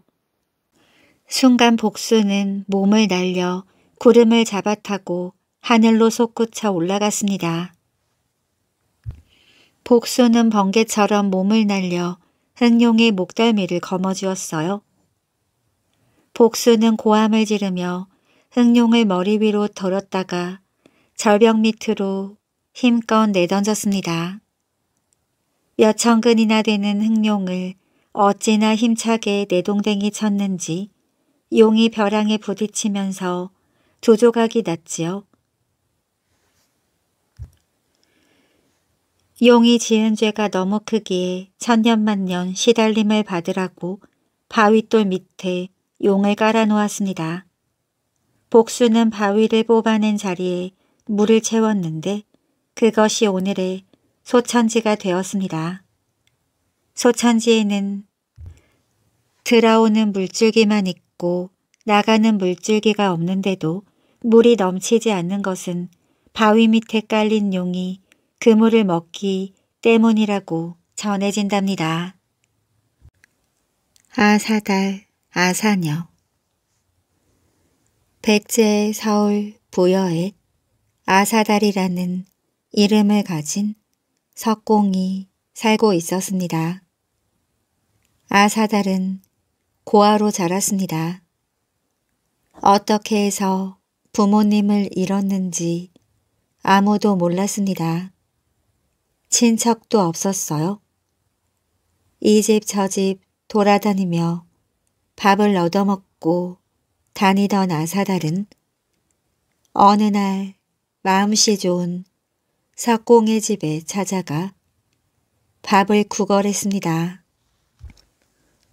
석공은 아사달이 불쌍해 보여 그날부터 아사달을 자기 곁에 두고 잔심부름을 시키기로 했습니다. 청소도 하고 물도 떠다주는 어렵지 않은 일이었지요. 그러면서 아사달은 어깨너머로 돌 다루는 법을 익히게 되었습니다. 부여에는 뛰어난 석공들이 아주 많이 있었습니다. 그 중에서도 이 마음씨 좋은 석공은 백제에서 가장 뛰어난 솜씨를 가지고 있어서 언제나 일이 밀렸습니다. 아사달은 심심할 때마다 깨져서 못쓰게 된 돌로 작은 탑이나 불상을 만들었습니다. 어깨 너머로 돌 쪼는 기술을 배웠던 것이지요. 우연히 아사달의 작은 조각을 본 석공은 이제 아사달을 자기 제자로 삼았습니다.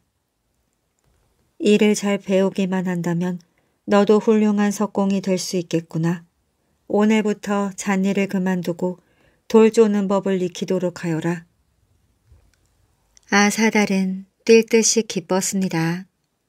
손 재주가 좋고 성격이 꼼꼼한 아사달은 청년이 되면서부터 세상보다 더 훌륭한 조각을 만들게 되었습니다. 아사달이 만든 탑이나 불상을 구하기 위해 전국 각지의 절에서 사람들이 찾아왔습니다. 부잣집에서는 많은 돈을 내고 아사달의 조각을 사갔습니다. 그러던 어느 날 세생이 아사달을 장가 보내야 한다며 옆 마을에 어여쁜 처녀를 데리고 와서 선을 보게 했습니다. 아사달은 첫눈에 벌써 그 처녀가 마음에 들었습니다. 처녀도 아사달이 듬직하게 여겨졌습니다. 얼마 뒤 세생의 집 마당에서는 조촐한 혼례가 치루어졌습니다. 혼례에 참석한 사람들은 색시가 예쁘다고 저마다 칭찬이었어요. 아사달은 그런 소리를 들을 때마다 기분이 좋아 싱글벙글 했습니다. 아사달은 작업장 옆에 자그마한 신방을 마련하였습니다. 사랑하는 색시가 해주는 밥을 먹고 일을 하니까 기운이 막 넘치는 것 같았어요. 하루에 열두 번도 넘게 색시가 보고 싶어 일을 하다 말고 방문을 살짝 열어봤습니다. 그때마다 색시는 해진 옷을 기우고 있거나 길쌈을 하고 있었습니다. 여보, 하고 아사달이 색시를 부릅니다. 그러면 색시는 쑥스러워하다가 환하게 웃음을 짓습니다. 아사녀의 웃는 모습이 자꾸 보고 싶어 아사달은 일하다 말고 방문을 열고 들여다보는 게 버릇이 되어버렸습니다. 아사녀가 냇가로 빨래를 가거나 볼 일이 있어 집을 비울 때 아사달은 안절보절 못하면서 아무 일도 하지 못합니다. 혹시 누가 잡아가기라도 하면 어쩌지? 빨래를 이고 오다가 넘어진 건 아닐까? 쓸데없는 걱정에 정신이 팔려 정에 손을 찍힌 적도 여러 번입니다. 스승이나 마을 사람들은 이런 아사다를 재미있다는 듯 놀려댔습니다. 아사달, 색시가 그렇게도 좋니? 그러다가 색시 치마 꼬리만 쫓아다니겠다. 아사달은 창피해서 머리를 긁적거렸어요. 하지만 이런 놀림이 싫지는 않았습니다. 그렇게 보고 싶고 좋았으니까요. 사람들도 나쁜 뜻이 있어 놀리는 건 아니었습니다. 한편으로는 재미있기도 하고 또 한편으로는 부럽기도 하여 괜히 한 번씩 우스갯말을 해보는 것이지요. 그 무렵 신라에 불국사가 세워졌습니다. 참 크고 아름다운 절입니다. 지금도 경주에 가면 이 절을 볼 수 있습니다. 다른 것은 다 지었는데 마지막으로 법당들의 탑을 세우는 일만 남았습니다. 그런데 신라에는 솜씨가 좋은 석공이 없어 탑을 세우지 못하고 있었습니다. 탑에는 부처님이나 큰 스님의 사리를 모셔둡니다. 그래서 탑을 세우는 일은 절을 지을 때 절대로 빼놓을 수 없는 무척 중요한 일입니다. 대충대충 아무렇게나 만들 수도 없습니다. 그래서 반드시 훌륭한 석공을 데려다 탑을 만들게 해야 하지요. 하지만 신라에는 그런 훌륭한 탑을 만들 만한 석공이 없었기 때문에 할 수 없이 훌륭한 석공이 많은 백제에서 데려오기로 하였습니다.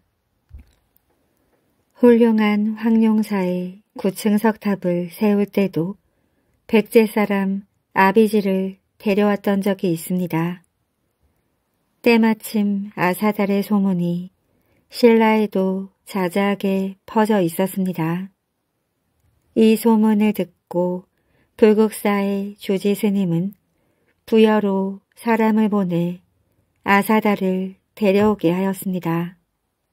아사달은 신라에서 자기를 데리러 온 사람의 이야기를 듣고 몹시 망설였습니다. 불국사같이 훌륭한 절에 탑을 세우는 일은 자기 손으로 정말 하고 싶었습니다. 하지만 아사녀와 떨어져서는 한시도 살 수 없을 것 같았습니다. 아사달은 며칠을 고민하다가 마침내 신라에 가기로 결심을 했습니다. 아내 때문에 해야 할 일을 하지 못한다는 것이 영 개운치 않게 생각되었던 거지요. 아사녀는 남편 아사다를 떠나보내고 싶지 않았습니다. 하지만 세상에서 가장 훌륭한 탑을 만드는 게 아사달의 소원이라는 것을 알고 있는 아사녀는 말리지 않았습니다. 꼭 훌륭한 탑을 만들고 돌아오세요.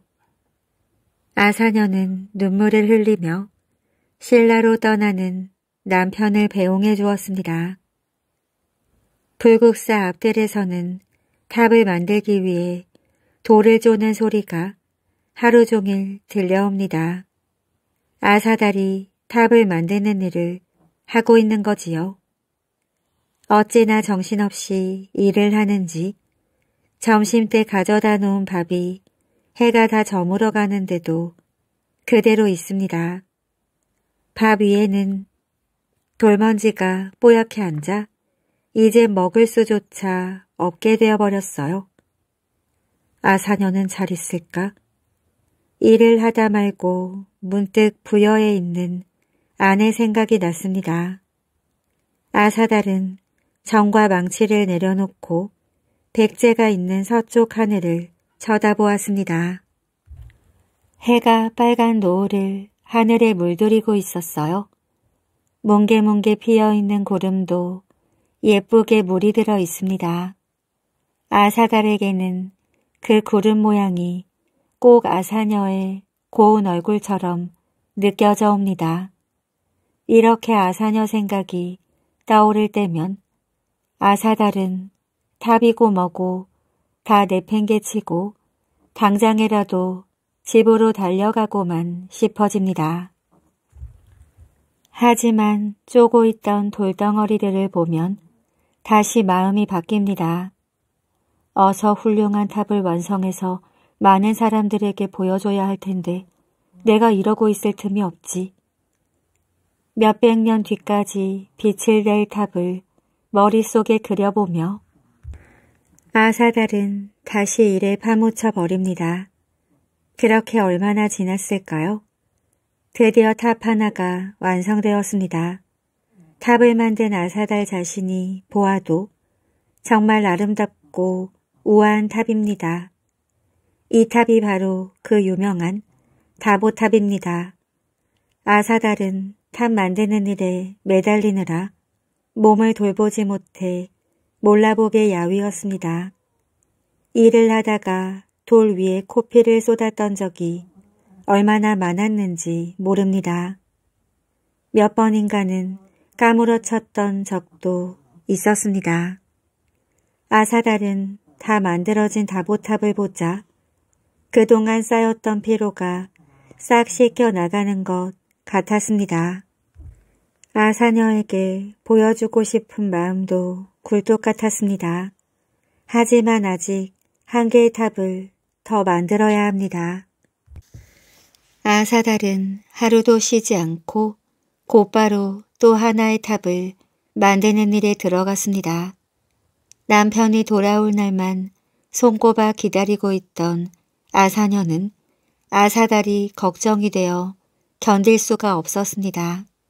중요한 일을 할 때에는 며칠씩 밥 먹는 것도 있고 일에만 몰두하는 남편의 습관을 알고 있는 아사녀는 혹시 병이라도 나서 누워 계신 건 아닐까 하고 날마다 걱정하느라 얼굴이 까칠해졌습니다.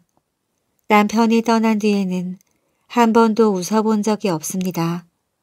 그러다가 마침내 오랫동안 소식 한 장 없는 아사다를 찾아 신라로 떠나기로 하였습니다. 아사녀는 몇 날을 걸어 불국사에 도착했어요. 귀에 익은 남편의 돌 쪼는 소리가 들려왔습니다. 무사하시구나. 안도의 탄성과 함께 얼굴에는 정말 오랜만에 얇고 환한 웃음이 떠올랐습니다. 그때 저를 돌아보고 있던 주지 스님이 아사녀를 보고 다가왔습니다. 처음 뵙는 분 같은데 어디서 오셨습니까? 예, 저는 이 절의 탑을 만들고 있는 아사달이라는 석공의 아내입니다. 부여에서 남편을 만나기 위해 오는 길입니다. 새님은 아사녀의 말을 듣고 걱정이 앞섰습니다.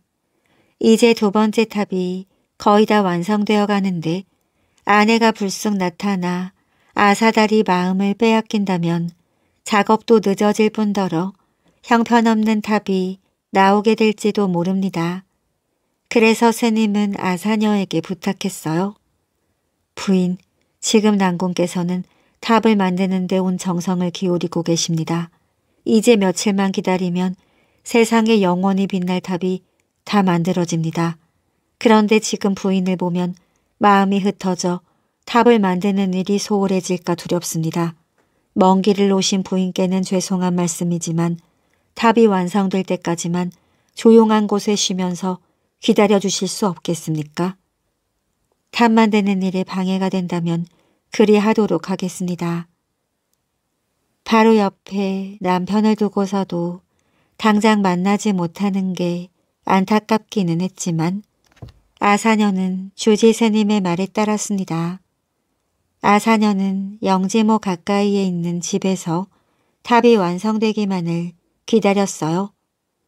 탑이 다 만들어지면 이 연못에 탑의 그림자가 비칠 것이라는 말을 주지스님에게서 들은 아사녀는 날마다 영지몸만 들여다보고 있었습니다.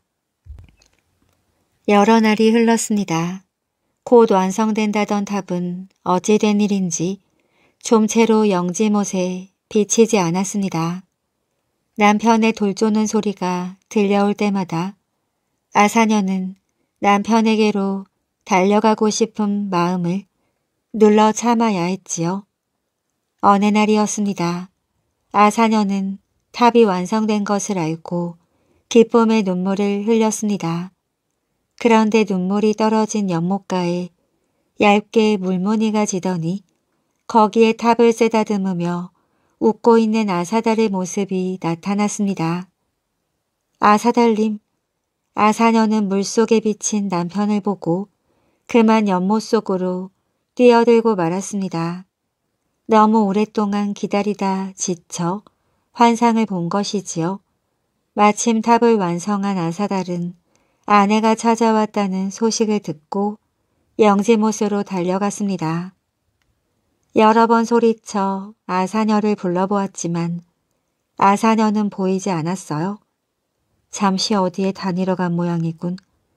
이렇게 생각하고 아사달은 연못가 바위에 걸터 앉았습니다. 그때서야 아사달은 연못 속에 빠져서 누워있는 아내를 보았어요. 아사녀. 아사달은 미친 듯이 아내를 부르며 첨벙 물속으로 뛰어들었습니다. 그리고는 물속에 잠겨있는 아내를 꼭 보듬켜 안은 채 나오지 않았습니다. 이렇게 두 사람의 목숨을 바쳐 만들어진 탑이 다보탑과 나란히 서 있는 불국사의 석가탑입니다. 그 뒤에 사람들은 석가탑을 영지못의 그림자를 빠뜨려 그림자가 생기지 않는 탑이라고 하여 무영탑이라고도 불렀습니다. 지금도 영지목가에는 돌부처 하나가 서서 아사달과 아사녀의 영혼을 지켜주고 있다고 합니다. 이름이 같은 두 사람 옛날 어느 마을에 이름이 똑같은 두 사람이 살고 있었습니다. 이들의 이름은 클라우스였는데 한 사람은 네 마리의 말을 갖고 있었고 다른 한 사람은 말이 한 마리밖에 없었습니다. 그래서 마을 사람들은 말 네 마리를 가진 사람을 큰 클라우스, 한 마리밖에 없는 사람을 작은 클라우스라고 불렀습니다. 일주일 내내 작은 클라우스는 큰 클라우스를 위해 밭을 갈아주고 말 한 마리도 큰 클라우스에게 빌려주어야 했습니다. 그래야만 큰 클라우스가 네 마리의 말을 빌려주겠다고 했기 때문입니다. 그러나 그것도 일요일 단 하루뿐이었습니다. 일요일만 되면 작은 클라우스는 아주 신나게 채찍을 휘두르며 다섯 마리의 말을 몰았습니다. 이날만은 말들이 모두 자기 것이나 다름없기 때문이었습니다. 구름 한 점 없이 해맑은 일요일 성당의 종소리가 울려 퍼지면 사람들은 제일 좋은 옷으로 차려입고 성경책을 옆에 끼고 신부님의 말씀을 들으러 성당으로 갑니다. 사람들은 들판에서 밭을 가는 작은 클라우스의 옆을 지나가게 되는데 이럴 때 작은 클라우스는 신이 나고 자랑스러워서 이랴 이랴 내 귀여운 다섯 마리의 말들아 하며 채찍을 휘두르곤 했습니다. 도대체 그게 무슨 얘기야? 한 마리만 내 것인데 큰 클라우스가 못마땅해 했습니다. 하지만 작은 클라우스는 옆으로 사람들이 지나가기만 하면 큰 클라우스의 말을 깜빡 잊고 이랴 이랴 내 귀여운 다섯 마리의 말들아 하고 다시 소리를 치는 것이었습니다. 이제 정말 그런 식으로 얘기하면 재미없어. 또 한 번만 그랬다간 내 말에 이 말을 몽둥이로 때려 그 자리에서 죽게 할 거야. 큰 클라우스가 화가 나서 말했습니다. 이제 다시는 안 그럴게.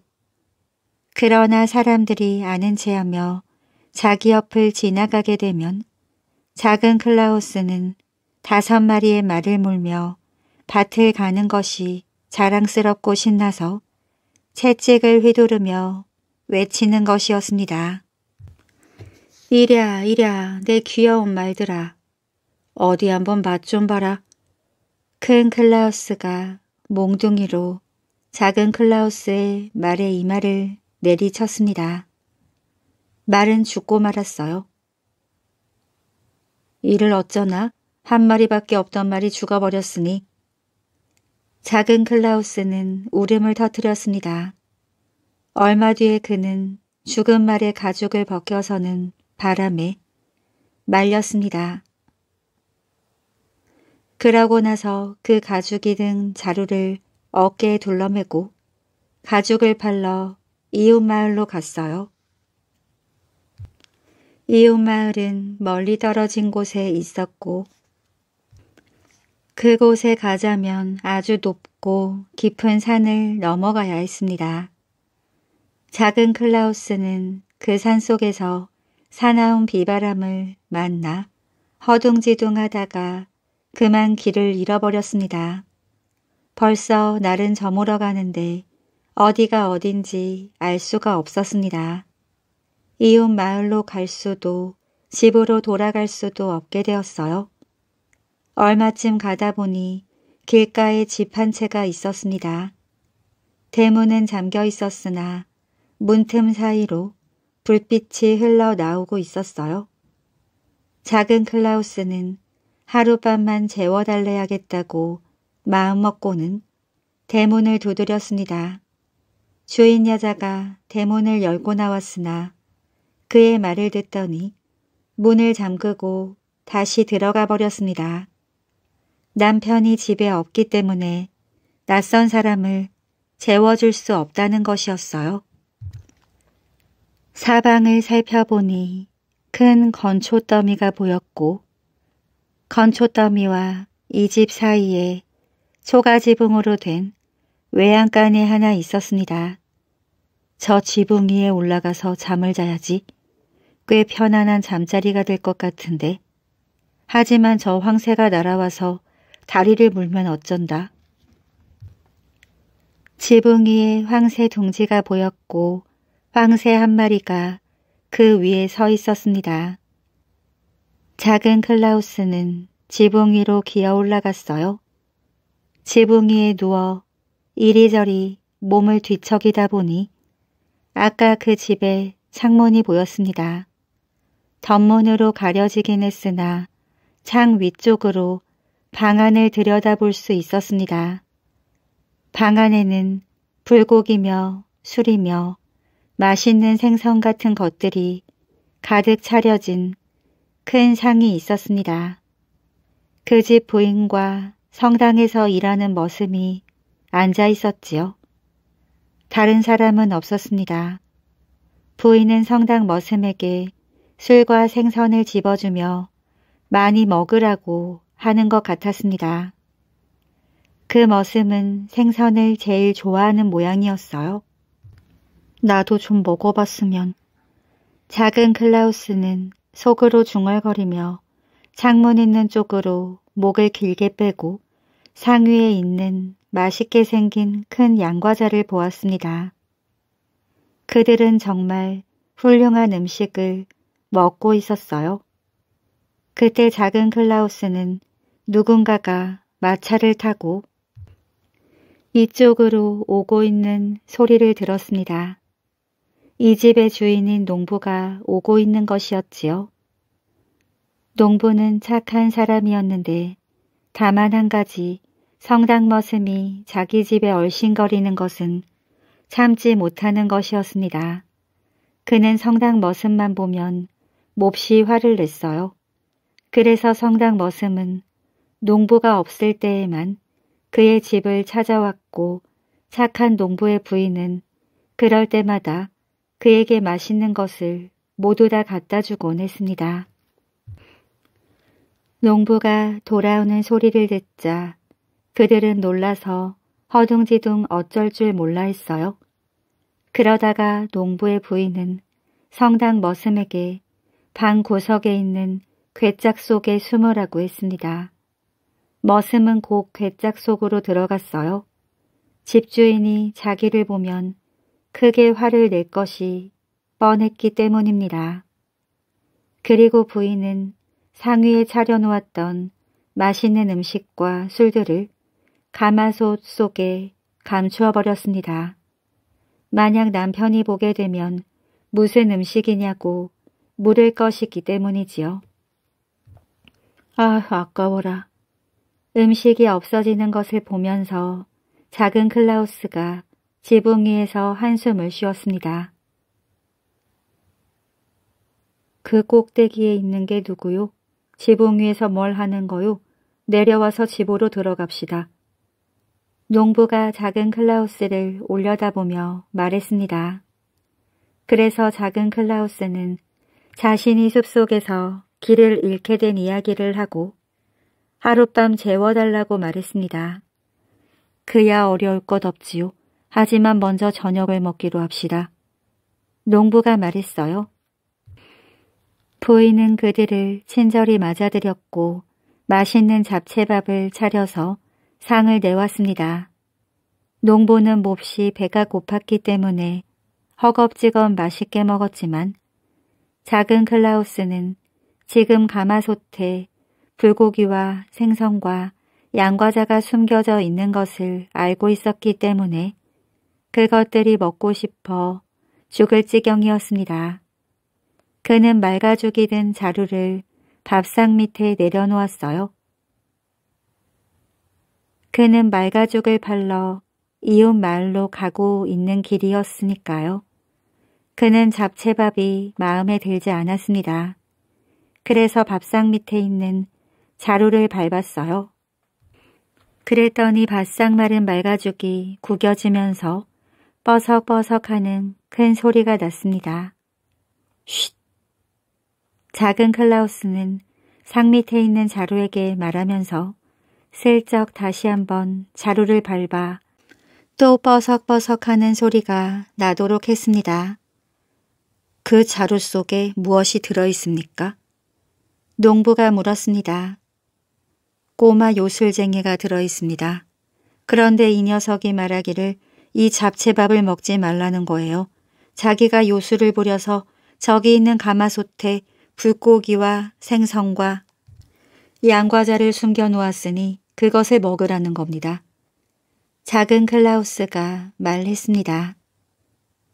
그럴 리가 있을까? 농부는 재빨리 가마솥으로 달려가 뚜껑을 열어보았습니다. 정말 맛있는 음식이 들어있는 것이었어요. 자기 아내가 감춰놓은 것인 줄을 모르는 농부는 꼬마 요술쟁이가 자기들을 위해 마련한 것으로 믿었습니다. 농부의 아내는 아무 말도 못하고 그 음식들을 밥상 위에 갖다 놓았습니다. 그래서 둘이는 불고기와 생선과 양과자를 마음껏 먹었습니다.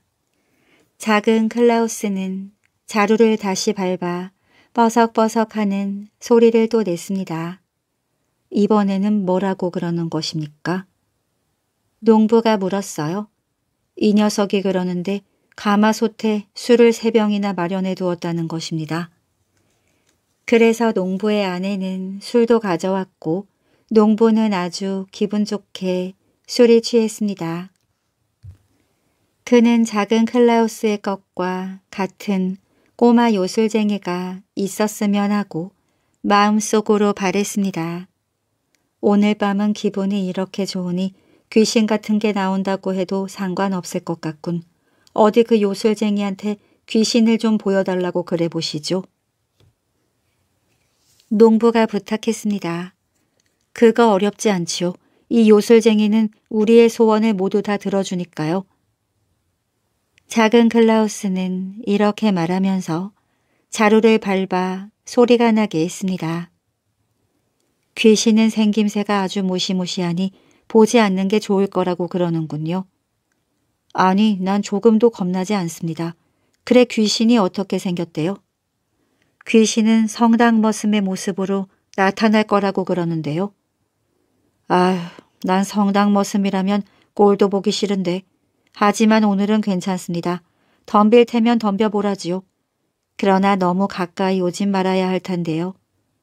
어디 한번 다시 물어보지요. 작은 클라우스는 자루를 밟으면서 귀를 가까이 가져갔습니다.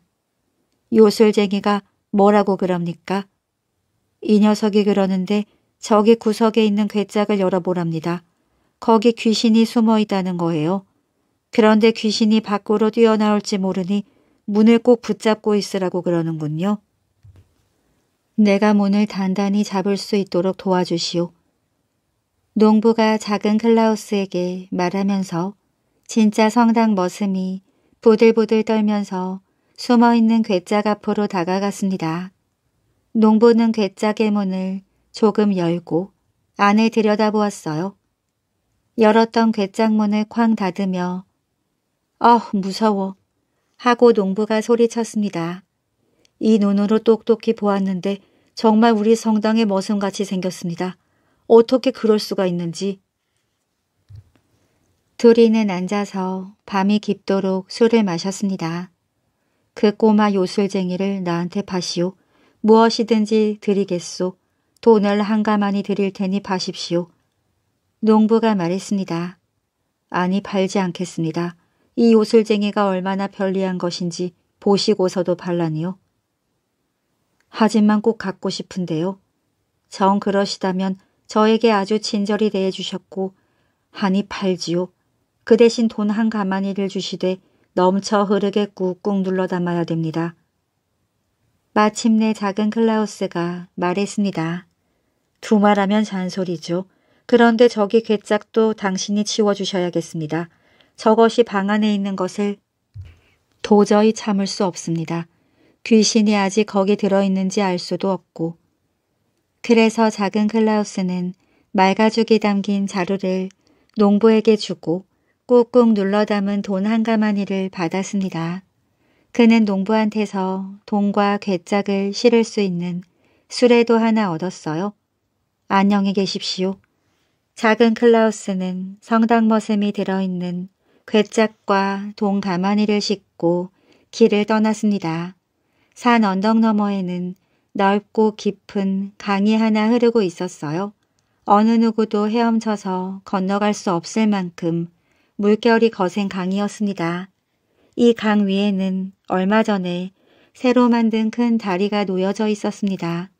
작은 클라우스는 이 다리 한복판에 이르렀을 때 괴짝 속에 들어있는 성당 머슴이 들으라고 큰 소리로 이렇게 말했습니다.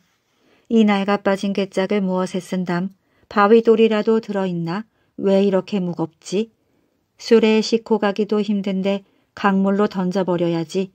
강물에 둥둥 떠내려가서 우리 집 있는 데까지 가면 더욱 좋고 도중에 없어진들 그까지 거 상관없지. 그는 정말 강물 속에 던지려는 듯이 괴짝을 조금 들어 올렸습니다. 아이쿠, 여보시오. 이 뚜껑 좀 열어주시오. 괴짝 속에서 머슴이 외쳤습니다. 아유 깜짝이야. 귀신이 아직 이 속에 들어있군. 그렇다면 더구나 강물에 빠뜨려 죽여야지. 작은 클라우스가 놀랐다는 듯이 딴청을 부리며 말했어요. 돈 한 가마니를 드릴 테니 제발 살려주십시오. 성당 머슴이 소리쳤습니다. 그거 괜찮겠는데? 뚜껑을 열어주면서 작은 클라우스가 말했어요. 머슴은 허겁지겁 밖으로 나와서 빈 괴짝을 강물 속에 밀어버리고 작은 클라우스를 자기 집으로 데려가서 돈을 가마니에 잔뜩 담아주었습니다. 농부에게서 받은 것과 합치니 돈이 수레에 가득 실렸어요. 말가죽을 정말 비싸게 판 셈이 되었군.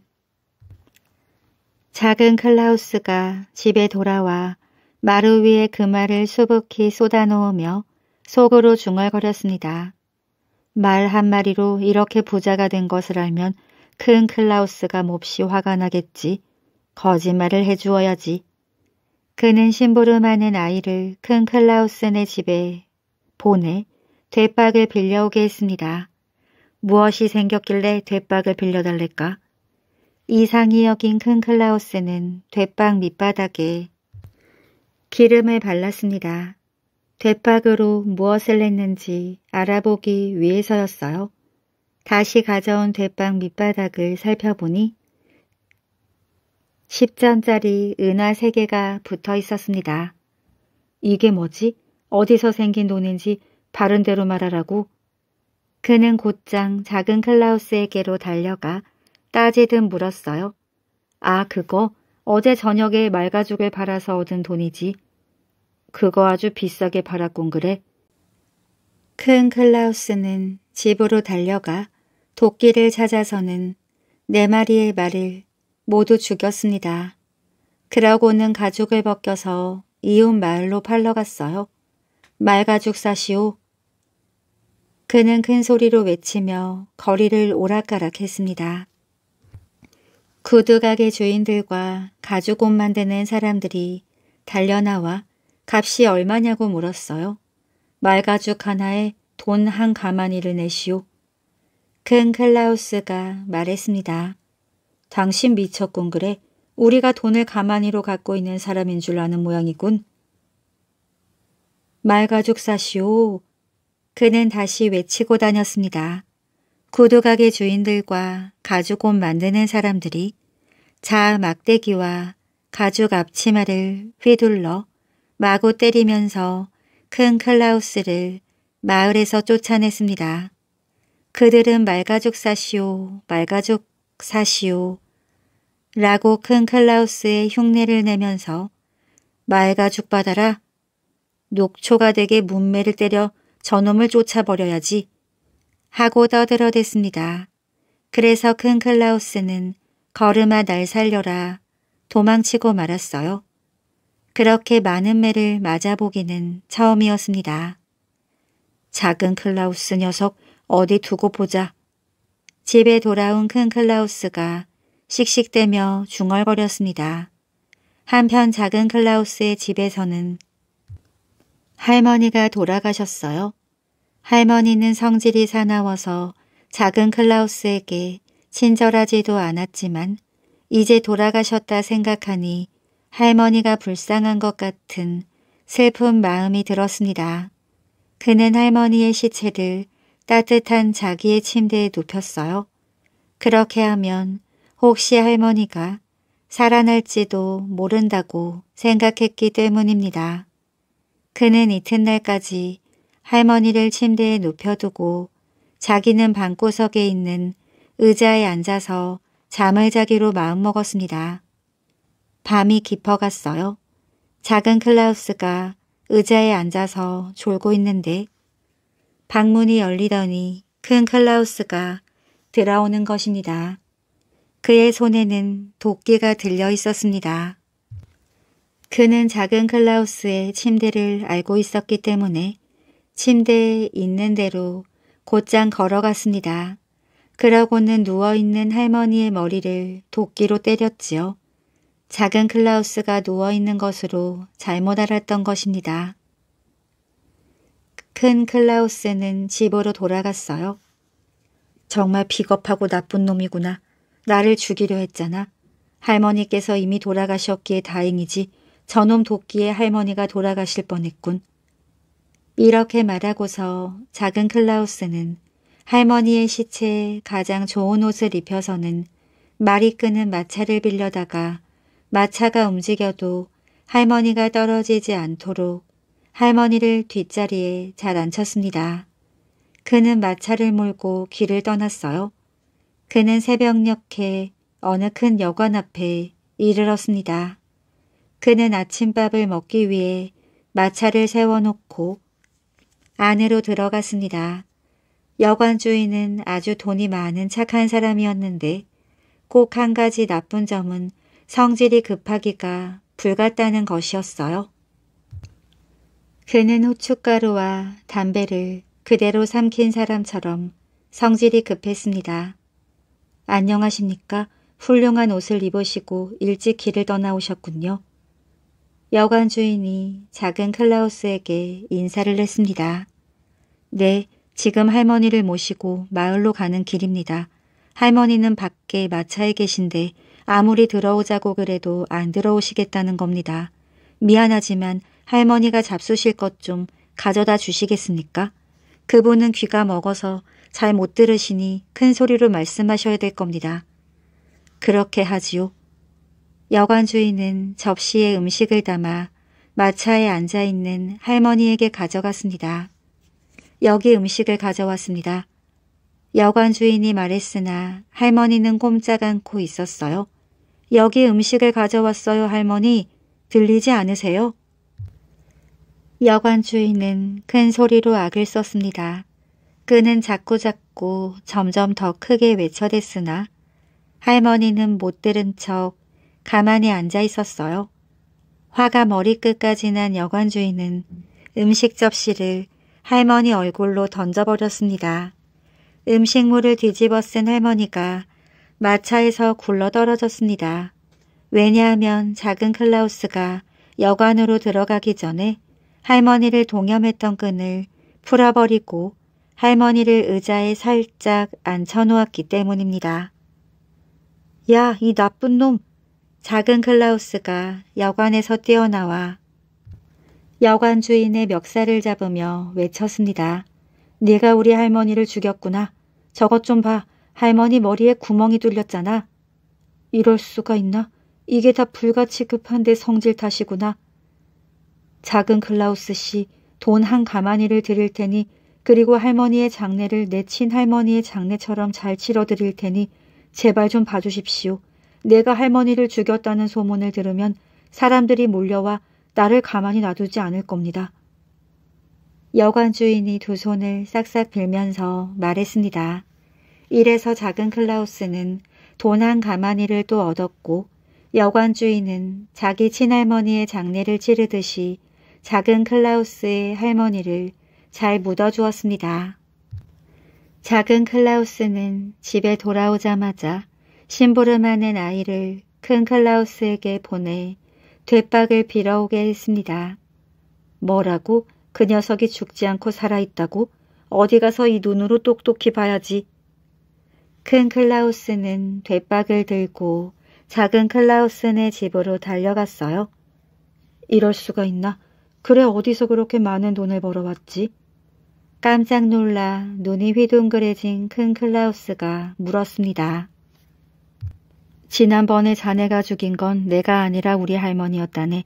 할머니 시체를 갖다 팔았더니 이렇게 돈이 생긴 거지. 작은 클라우스가 거짓말을 했습니다. 큰 클라우스는 곧장 집으로 달려가 도끼를 찾아서는 자기 할머니를 죽였습니다. 그는 할머니의 시체를 마차에 싣고 마을에 있는 병원으로 갔습니다. 그러고는 시체를 팔러 왔다고 말했어요. 이게 누구지요?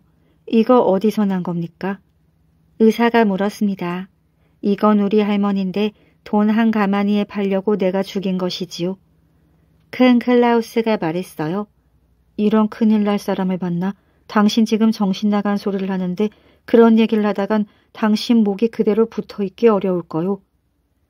의사는 큰 클라우스가 얼마나 나쁜 사람인지 또 그가 저지른 일이 얼마나 못된 것인지를 일깨워주고는 당신 같은 사람은 마땅히 벌을 받아야 된다고 말했습니다. 겁에 질린 큰 클라우스는 병원을 뛰쳐나와 마차에 올라타고는 채찍을 휘둘러 급히 말을 몰아 집으로 달려왔습니다. 의사는 그를 미친 사람으로 생각하고 그냥 도망치게 내버려 두었어요.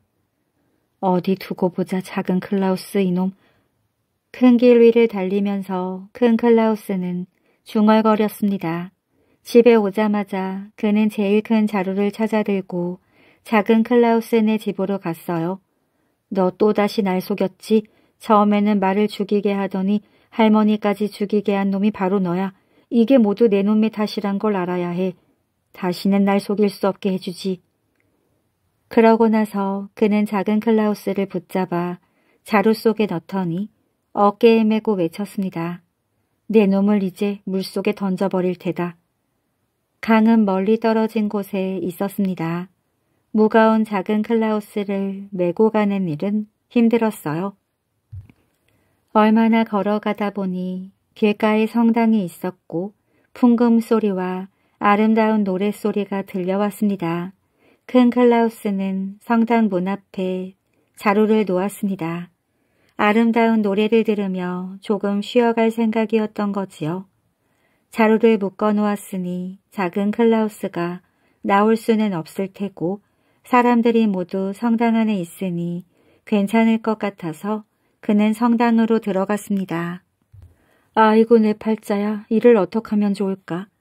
작은 클라우스가 한숨을 쉬며 자루 속에서 꿈틀거려 보았지만 자루는 풀어지지 않았습니다.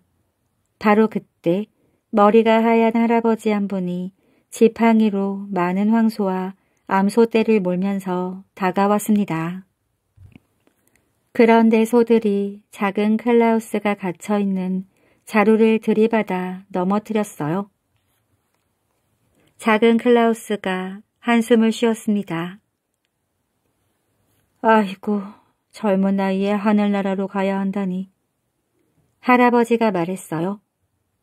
나는 이렇게 늙었는데 아직 하늘나라에 못 가봤는데. 이 자루를 좀 풀어주세요. 그리고 내 대신 여기 들어와 앉아 있으면 하늘나라로 갈 수 있을 겁니다. 그거 괜찮겠군. 할아버지가 끈을 풀자 작은 클라우스는 얼른 자루 밖으로 나왔습니다. 자네가 내 소들을 보살펴주게. 할아버지는 소떼를 맡기고 자루 속으로 들어갔어요. 작은 클라우스는 자루를 꽁꽁 묶어놓고는 소떼를 몰고 가버렸습니다. 얼마 뒤에 큰 클라우스가 성당에서 나왔습니다. 그는 자루를 다시 짊어졌어요. 그런데 짐이 가벼워진 것 같았습니다. 사실 할아버지는 작은 클라우스보다 훨씬 가벼웠으니까요. 아주 가벼워졌는데 아마 성당에 들어가 기도를 드렸더니 내가 기운이 더 나는 모양이지. 그는 강을 찾아 걸어갔습니다. 드디어 넓고 깊은 강물이 나타났어요. 할아버지가 들어있는 자루를 물속에 던졌습니다. 이제 다시는 나를 속이지 못하겠지. 그는 자루 속에 있는 것이 작은 클라우스인 줄 알고 큰 소리로 외쳤습니다. 그는 집으로 돌아가려고 발길을 돌렸어요. 어떤 내거리에 이르렀을 때 그는 소떼를 몰고 오는 작은 클라우스를 만났습니다. 이게 어찌 된 일이지? 내가 조금 전에 물속에 던져버렸는데. 그렇고 말고 반 시간 전에 네가 나를 강물에 버렸지. 그런데 어디서 그렇게 훌륭한 소떼를 얻었지?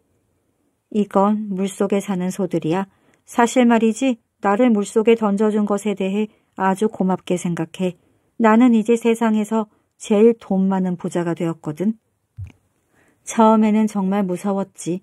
자루 속에 갇힌 채 다리 위에서 찬물 속으로 떨어질 때는 귓전으로 바람이 쌩쌩 불었어. 강물에 떨어지자마자 곧 가라앉았는데 아무데도 다치질 않았어. 왜냐하면 강 밑바닥에는 예쁜 풀들이 부드럽게 깔려있기 때문이지. 눈처럼 하얀 옷을 입고 촉촉히 젖은 머리에는 푸른 꽃모자를 쓴 어여쁜 아가씨가 자루를 풀어주면서 내 손을 잡고 이렇게 말했어. 작은 클라우스 씨죠? 여기 있는 암소들을 드리겠어요. 저 위로 10리쯤 올라가면 소떼들이 또 있는데 그것도 가지세요. 가만히 보니까 물속에 사는 사람들에겐 강물이 바로 큰 길이야. 물속에서는 강물을 따라 저 먼 바다까지 걸어서 가기도 하고 마차를 타고 가기도 하더군. 물속의 꽃들이 아름답게 피어 있었고 풀도 싱싱했어. 물고기들을 공중에 날아가는 새들처럼 내 옆을 스쳐 지나갔지. 그곳 사람들은 정말 친절하고 또 물속에는 가는 곳마다 소떼들이 많이 있었어. 그런데 어떻게 이렇게 돌아왔지? 거기서 살 것이지. 그건 말이야. 나한테도 다 생각이 있어서 그런 거야. 그곳 아가씨가 그러는데 한 10리쯤 올라가면 소떼들이 또 있다고 하더라고. 아까 내가 말했지. 강물을 따라가자면 꼬불탕 꼬불탕 이리 돌고 저리 돌고 한참 가야 하지만 이렇게 땅으로 올라와서 가면 지름길을 따라 곧장 갈 수 있잖아. 그래서 올라온 거야. 넌 참 재수도 좋다. 나도 물속에 들어가면 솥대를 얻을 수 있을까? 물론 너도 얻을 수 있지. 하지만 너는 너무 무겁기 때문에 너를 자루에 넣어 짊어지고 가줄 수는 없어. 강 있는 데까지 걸어가서 자루 속에 들어간다면 강물 속으로 던져줄 수는 있어. 그럼 그렇게 하자. 그러다 내가 물속에서 솥대를 얻지 못하면 그때는 정말 가만 놔주지 않을 거야. 왜 자꾸 그렇게 나를 못살게 굴려고 그러지? 그래서 그들은 강물이 있는 곳으로 떠났습니다. 강물을 보자 솥대들이 물속으로 달려갔어요. 매우 목이 말랐던 모양입니다. 저것 봐, 물을 저렇게 좋아하잖아. 자, 그럼 나를 거들어 들어줘. 한 방 때리기 전에 어서 빨리. 이렇게 재촉하면서 큰 클라우스는 암소의 등에 얹혀있던 자루 속으로 들어갔습니다. 큰 돌멩이도 하나 집어넣으라고 안 가라앉으면 어떡해. 걱정 마. 이렇게 대답하고서 작은 클라우스는 자루에 커다란 바위덩이를 매달았습니다. 큰 클라우스를 담은 자루는 곰 물속으로 풍덩 들어갔어요. 그렇게 작은 클라우스는 혼자 중얼거리며 소떼들을 앞세우고 집으로 돌아왔답니다. 진짜 왕 옛날에 두 형제가 살았는데 형은 돈 많은 부자이고 동생은 가난뱅이였습니다. 부자인 형은 금세공사였는데 심보가 고약했고 가난뱅이 동생은 빗자루 엮는 일로 근근히 살아가고 있었지만 마음씨가 착하고 성실했습니다. 가난뱅이 동생에게는 자식이 둘 있었는데 마침 쌍둥이라서 같은 크기의 물방울처럼 구별할 수 없이 똑같았습니다. 쌍둥이 형제는 이따금 부자 큰 아버지 집에 가서 찌꺼기 중에서 먹을 것을 찾아내곤 했습니다. 어느 날 가난뱅이 아빠가 빗자루를 엮을 섬나무를 구하러 숲속에 갔다가 온통 황금빛으로 된 새 한 마리를 보았습니다. 세상에 나서 한 번도 본 적이 없는 너무나 아름다운 새였어요. 가난뱅이 아빠는 돌멩이를 집어 황금새를 겨냥했습니다. 그런데 마침 돌멩이가 새를 맞추지 않았겠어요? 하지만 황금 깃털 하나만 떨어뜨린 채 새는 훌쩍 날아가 버렸습니다. 아빠는 그 깃털을 집어들고 욕심쟁이 형에게로 갔습니다. 형은 그 깃을 자세히 살펴보더니 이렇게 말했어요. 이건 순금이로구나. 그러면서 깃털을 챙겨 넣고 그 대신 많은 돈을 주었습니다. 다음날 가난뱅이 아빠는 자작나무 위로 올라가 나무까지 몇 둥치를 쳐낼 작정이었습니다. 그때 바로 어제의 황금새가 자작나무 가지에서 날아오르는 겁니다. 가난뱅이 아빠가 나무가지를 살펴보니 과연 새 둥지가 하나 있고 그 안에는 황금알이 놓여 있었습니다. 아빠는 그 알을 집으로 가져와 형에게 보였어요. 형은 이건 순금이로구나 라고 말하며 새알을 챙겨 넣고 그 대신 많은 돈을 동생에게 주었습니다. 마침내 형은 이런 말을 했어요.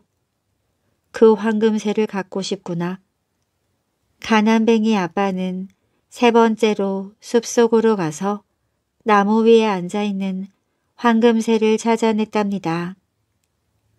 가난뱅이 동생은 돌멩이를 집어 새를 쏘아 떨어뜨려 잡아서 형에게 가져다 주었고 그 대신 산더미만큼 돈을 받았습니다. 이것으로 한참 동안 걱정 없이 살겠지 라고 가난뱅이 아빠는 생각하며 만족스럽게 집으로 돌아갔습니다. 금 세공사인 형은 꾀가 많고 약삭 발라서 그 새가 어떤 새인지를 잘 알고 있었답니다. 금세공사는 아내를 불러서 이렇게 명령했어요. 이 황금새를 구워 갖고 오되 내장이 하나도 빠지지 않게 주의하게 나 혼자 그걸 통째로 먹고 싶으니까. 사실로 말하면 이 새는 보통 새가 아니라 누구든 그 새의 심장과 간을 먹은 사람은 아침마다 베개 밑에 황금 덩어리를 하나씩 얻게 되는 그런 특별한 종류의 새였던 것입니다. 아내는 새를 조미해서 꼬챙이에 끼워 굽도록 했습니다. 그런데 마침 쇠고기를 불에 올려놓고 아내가 어쩔 수 없는 일이 생겨 잠깐 부엌을 비운 사이 빗자루를 엮는 가난뱅이네 쌍둥이가 부엌 안으로 달려들어와 새 요리가 꽂힌 꼬챙이를 보고 몇 차례 굴려보는 일이 벌어졌습니다. 그리고 새의 몸뚱아리에서 작은 내장이 두 토막 냄비에 떨어진 것을 보자 한 녀석이 말했어요. 저 작은 토막은 우리가 먹어치우자. 너무 배가 고파 못 견디겠어. 저 토막쯤은 먹어치워도 아무도 모를 거야. 그러고 쌍둥이 녀석들은 새 고기 토막을 먹어치웠습니다. 금세공사 아내가 돌아와서 애들이 뭘 먹는 것을 보고 소리쳤어요. 너 이놈들 뭘 먹었니? 새 몸뚱이에서 떨어진 부스러기를 먹었을 뿐인걸요. 라고 쌍둥이는 대답했어요. 그게 바로 심장과 간이었구먼. 금세공사 아내는 기겁을 하고 놀라 소리치더니 남편이 뭔가 빠진 것을 알고 화를 낼까 겁내요. 잽싸게 닭을 한 마리 잡아 닭의 심장과 간을 꺼내 황금새 요리에 얹었습니다. 조리가 끝나자 아내는 그것을 금세공사한테 가져다 주었고 금세공사는 혼자서 한 알갱이도 안 남기고 새 요리를 먹어치웠어요. 그렇지만 다음날 아침 깨어나 베개 밑에 손을 넣으며 금 덩어리가 만져지리라 생각했을 때는 다른 날이나 마찬가지로 아무것도 발견할 수가 없었습니다. 한편 쌍둥이 형제는 자기네들한테 얼마나 엄청난 행운이 주어졌는지조차 모르고 있었어요. 다음 날 아침 잠에서 깨어났을 때 뭔가 방바닥에 굴러 떨어지길래 주워보니 금덩어리가 두 개였지요. 쌍둥이는 그것을 아빠에게 가져다 드렸어요. 아빠는 이상스레 여기며 말씀하셨습니다. 대체 무슨 일이 벌어진 거지? 하지만 다음 날도 다음 날도 계속해서 금덩어리가 두 개씩 생겨나자 가난뱅이 아빠는 욕심쟁이 형에게 가서 그 야릇한 사건을 보고했습니다. 금세공사는 일이 어떻게 되었는지를 즉 쌍둥이 조카가 황금새의 심장과 간을 먹어치웠다는 것을 얼른 알아채고 앙심을 품고는 이렇게 말했어요. 내 아이들은 악마와 놀아나고 있다. 그 황금 덩어리를 아예 건드리지 말고 내 아이들도 한순간도 더 내 집에 머물게 하지 말아라. 그 아이들은 악마의 손에 사로잡혀 있는 거다. 곧 악마가 너까지 망칠는지 모르니까. 욕심쟁이 형은 질투심이 많고 인정머리가 없는 사람이었거든요. 아빠는 악마가 무서웠습니다. 그래서 무척이나 가슴 아픈 일이면서도 쌍둥이 아들들을 숲으로 끌고 가서 눈물을 흘리며 숲속에 버리고 말았습니다. 이제 쌍둥이 형제는 숲속에서 길을 잃고 집으로 통하는 길을 찾아 헤매게 되었어요. 하지만 집으로 가까워지기는커녕 점점 더 깊은 숲속을 헤맸습니다. 그러다 마침내 한 사냥꾼을 만났어요. 사냥꾼이 물었습니다. 너희 부모님 어디 계시냐? 우리는 가난한 빗자루 장소의 아이들입니다. 쌍둥이는 대답하고는 아침마다 자기네 베개 밑에 황금 덩어리가 놓여 있다는 이유로 아빠가 자기네들을 집에 두지 않으려는 사연을 자세히 설명했습니다. 음, 하고 사냥꾼이 입을 떼었어요. 금덩어리가 생기더라도 너희들이 성실하게 살고 빈둥거리며 놀지만 않는다면 결코 그게 나쁘다고는 할 수 없는 거다. 이 선량한 사냥꾼은 마침 자기에게 자식도 없는 터에 쌍둥이들이 마음에 든지라 그 애들을 집으로 데려가 이렇게 말했습니다. 내가 너희들 아빠가 되어 길러주마. 쌍둥이들은 이 새로운 아빠에게서 사냥을 배웠습니다. 사냥꾼은 아침마다 베개 밑에 놓이는 금덩어리를 쌍둥이들의 장례를 위해 차곡차곡 모아놓았어요. 쌍둥이들이 꽤 성장한 어느 날 길러준 아빠는 그들을 숲속으로 데려가서 이렇게 말했습니다.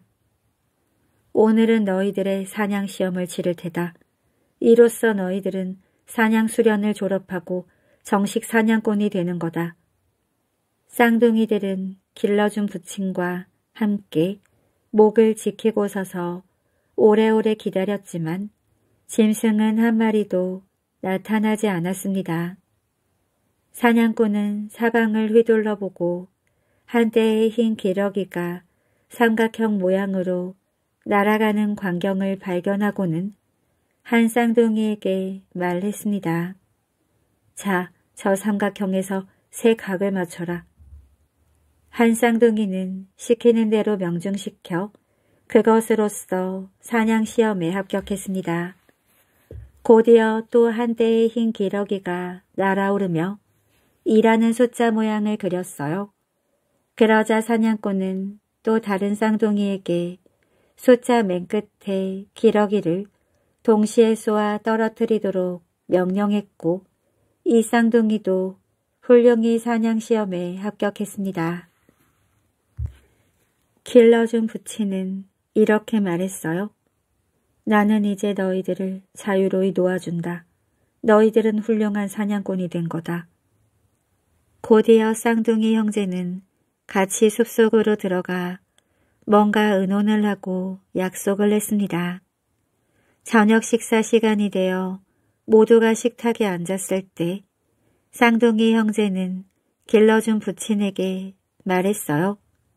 아버님께서 우리의 청을 들어주실 때까지 우리는 한 입도 먹지 않겠습니다. 너희들의 청이란 게 무엇이냐? 하고 부친은 물었어요. 그러자 쌍둥이들은 대답했습니다. 우리는 이제 충분히 배웠습니다. 이제는 세상에 나가 우리 자신을 시험해 봐야겠습니다. 그러니 우리로 하여금 넓은 세상을 두루 다니도록 허락해 주십시오. 늙은 사냥꾼은 기쁨에 넘쳐 대답했습니다. 너희들은 참된 사냥꾼다운 말을 했다. 너희들의 갈망은 벌써부터 품어온 나의 소망이기도 하단다. 그러니 세상으로 나가거라. 너희 앞에 좋은 일이 기다릴 것이다. 이 말이 끝나자 그들은 즐거운 마음으로 식사를 마쳤습니다. 떠나기로 정해진 날이 오자 길러준 부치는 쌍둥이 각자에게 훌륭한 총 한 자루와 개 한 마리를 선사하고 그동안 모아둔 금덩어리 중에서 원하는 만큼 가지고 떠나도록 당부했습니다. 뒤이어 부치는 쌍둥이 아들들을 한동안 따라와 전송하며 막상 헤어지는 자리에서는 번뜩이는 칼을 하나 내주며 말했습니다. 너희들이 언제 있고 헤어져야 할 때가 오면 갈림길에 있는 나무에다 이 칼을 꽂아두어라. 너희들 중 누구이든 그 자리를 찾아와 보면 떠난 형제의 안부를 알 수 있을 거다. 다른 형제가 혹시나 죽음을 당하면 그 형제가 떠나간 방향의 칼날이 녹슬어 있을 것이며 그 형제가 살아있는 한 칼날은 번뜩일 것이니라. 두 형제는 계속 길을 떠나 점점 깊은 숲속으로 빠져들어갔습니다. 하루 길로는 도저히 헤어나올 수 없는 커다란 숲이었어요. 그래서 쌍둥이 형제는 숲속에서 밤을 지내며 사냥꾼 보찜에 챙겨 갖고 온 음식을 먹었습니다. 하지만 그 다음 날을 계속 헤매어도 숲속을 빠져나올 수는 없었어요. 이제 먹을 것도 떨어져 버리자 쌍둥이 중 하나가 말했습니다. 무엇이든 사냥을 해야겠다. 안 그러면 굶어 죽겠는걸. 그러고는 사냥총에 총알을 재워넣고 사방을 살폈습니다. 마침 늙은 토끼 한 마리가 뛰쳐나오자 그는 재빨리 총을 겨누었어요. 하지만 토끼가 큰 소리로 이렇게 외쳤습니다. 사랑하는 사냥꾼님 살려주셔요. 당신에게 어린 토끼 두 마리를 선사할게요. 늙은 토끼는 잽싸게 덤불 속으로 뛰어들어가더니 어린 토끼 두 마리를 데려왔습니다. 그런데 이 어린 토끼들이 어찌나 즐겁고 귀엽게 노는지 사냥꾼 형제는 감히 그것을 죽일 놈들을 못 내고 말았습니다. 그래서 쌍둥이 형제는 토끼 새끼를 식구로 거누기로 했어요. 그러자 어린 토끼는 주인의 뒤를 따라 걸어왔습니다. 곧 얼마 안 가 여우 한 마리가 그들 옆을 세그머니 스쳐 지나갔습니다. 그걸 본 쌍둥이 형제는 여우를 겨냥해 쏘려고 했지요. 하지만 여우도 큰 소리로 외쳤습니다. 살려주세요. 당신에게 어린 여우 두 마리를 선사할게요. 여우도 새끼 여우 두 마리를 데려왔습니다. 사냥꾼 형제는 어린 여우 새끼 역시 죽일 수가 없어 토끼 새끼와 친구가 되게 해주었어요. 어린 짐승들은 모두 주인을 따라왔습니다. 얼마 안 가 늑대가 한 마리 깊은 덤불에서 어슬렁거리고 나왔습니다. 사냥꾼은 늑대를 겨냥했지요. 하지만 늑대도 큰 소리로 외쳤습니다. 사랑하는 사냥꾼님 살려주셔요. 당신에게 어린 늑대 두 마리를 선사할게요. 쌍둥이 사냥꾼은 늑대 새끼 두 마리도 다른 동물들과 어울리게 해주었고 어린 동물들은 모두 주인을 뒤쫓아왔습니다. 그 후 어린 곰 두 마리도 어울리게 되어 어느새 여덟 마리가 되었습니다. 그 후로 또 사자 두 마리도 데려왔어요. 그렇지만 쌍둥이 형제의 배고픔이 그것으로 가라앉지는 않았습니다. 그때 쌍둥이 사냥꾼은 여우 형제에게 말했어요. 들어라 이 꾀보들아 먹을 것 좀 마련해 오려무나 너희들은 꾀가 많고 교활하지 않니? 여우 형제는 대답했습니다. 여기서 멀지 않은 곳에 마을이 하나 있는데 우리는 벌써 몇 차례 거기서 달걀 훔쳐온 적이 있거든요. 마을로 가는 길을 안내해드리지요. 그래서 그들 일행은 마을로 내려가 먹을 것을 사고 짐승들 먹이도 배불리 먹이고는 계속 길을 떠났습니다. 여우 형제는 어디에 닭장이 있는지 그 지역 지리를 환히 알아서 사냥꾼들은 어디를 가나 어려움 없이 안내를 받았습니다. 그렇게 그들 일행은 얼마 동안 방랑을 계속했지만 그렇게 한데 어울려 있는 한은 일거리를 찾을 수가 없었습니다. 결국 이런 말이 나오게 되었지요. 딴 도리가 없군. 우리가 헤어지는 수밖에. 쌍둥이 형제는 짐승들도 나눠 가졌습니다. 그래서 각자가 사자 한 마리, 곰 한 마리, 늑대 한 마리, 여우 한 마리, 토끼 한 마리를 거느리게 되었지요. 이어서 작별을 하며 죽는 날까지 형제의 우애를 굳게 맹세하고 길러준 부친이 주었던 칼을 한 나무에 깊이 꽂았습니다. 그러고는 한 사람은 동쪽으로 다른 한 사람은 서쪽으로 길을 떠난 겁니다. 동생 쌍둥이는 자기의 짐승을 거느리고 어느 도시에 닿았습니다. 그런데 마침 그 도시는 온통 검정 깃발로 뒤덮여 있는 거예요. 쌍둥이 동생은 어느 주막으로 들어가서 혹시 자기의 짐승을 잠재울 수 없겠느냐고 물었습니다. 주막 주인은 마구간을 내주었어요. 마구간에는 벽에 구멍이 하나 뚫려 있어서 토끼는 그 구멍을 빠져나가 상추를 하나 들고 들어와 먹었고 여우는 달걀 한 마리 들고 들어와 먹더니 수탉 한 마리까지 더 먹어 치웠습니다. 하지만 늑대와 곰, 사자는 몸집이 너무 커서 구멍을 빠져나갈 수가 없었어요. 그러자 주막 주인은 마침 암소가 누워있는 풀밭으로 큰 짐승들을 데려가 배불리 먹도록 해주었습니다.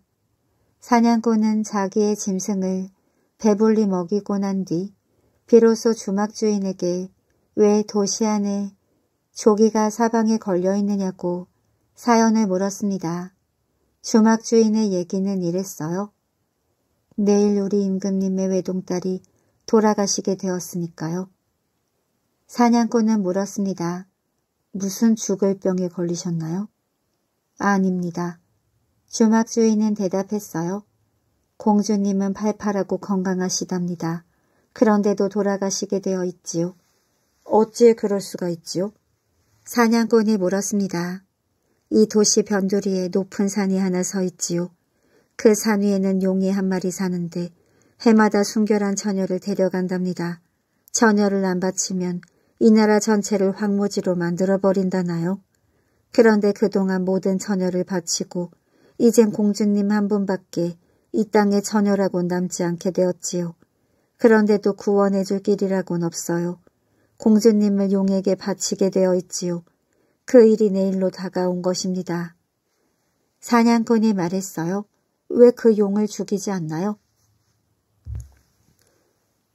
주막 주인이 대답했습니다.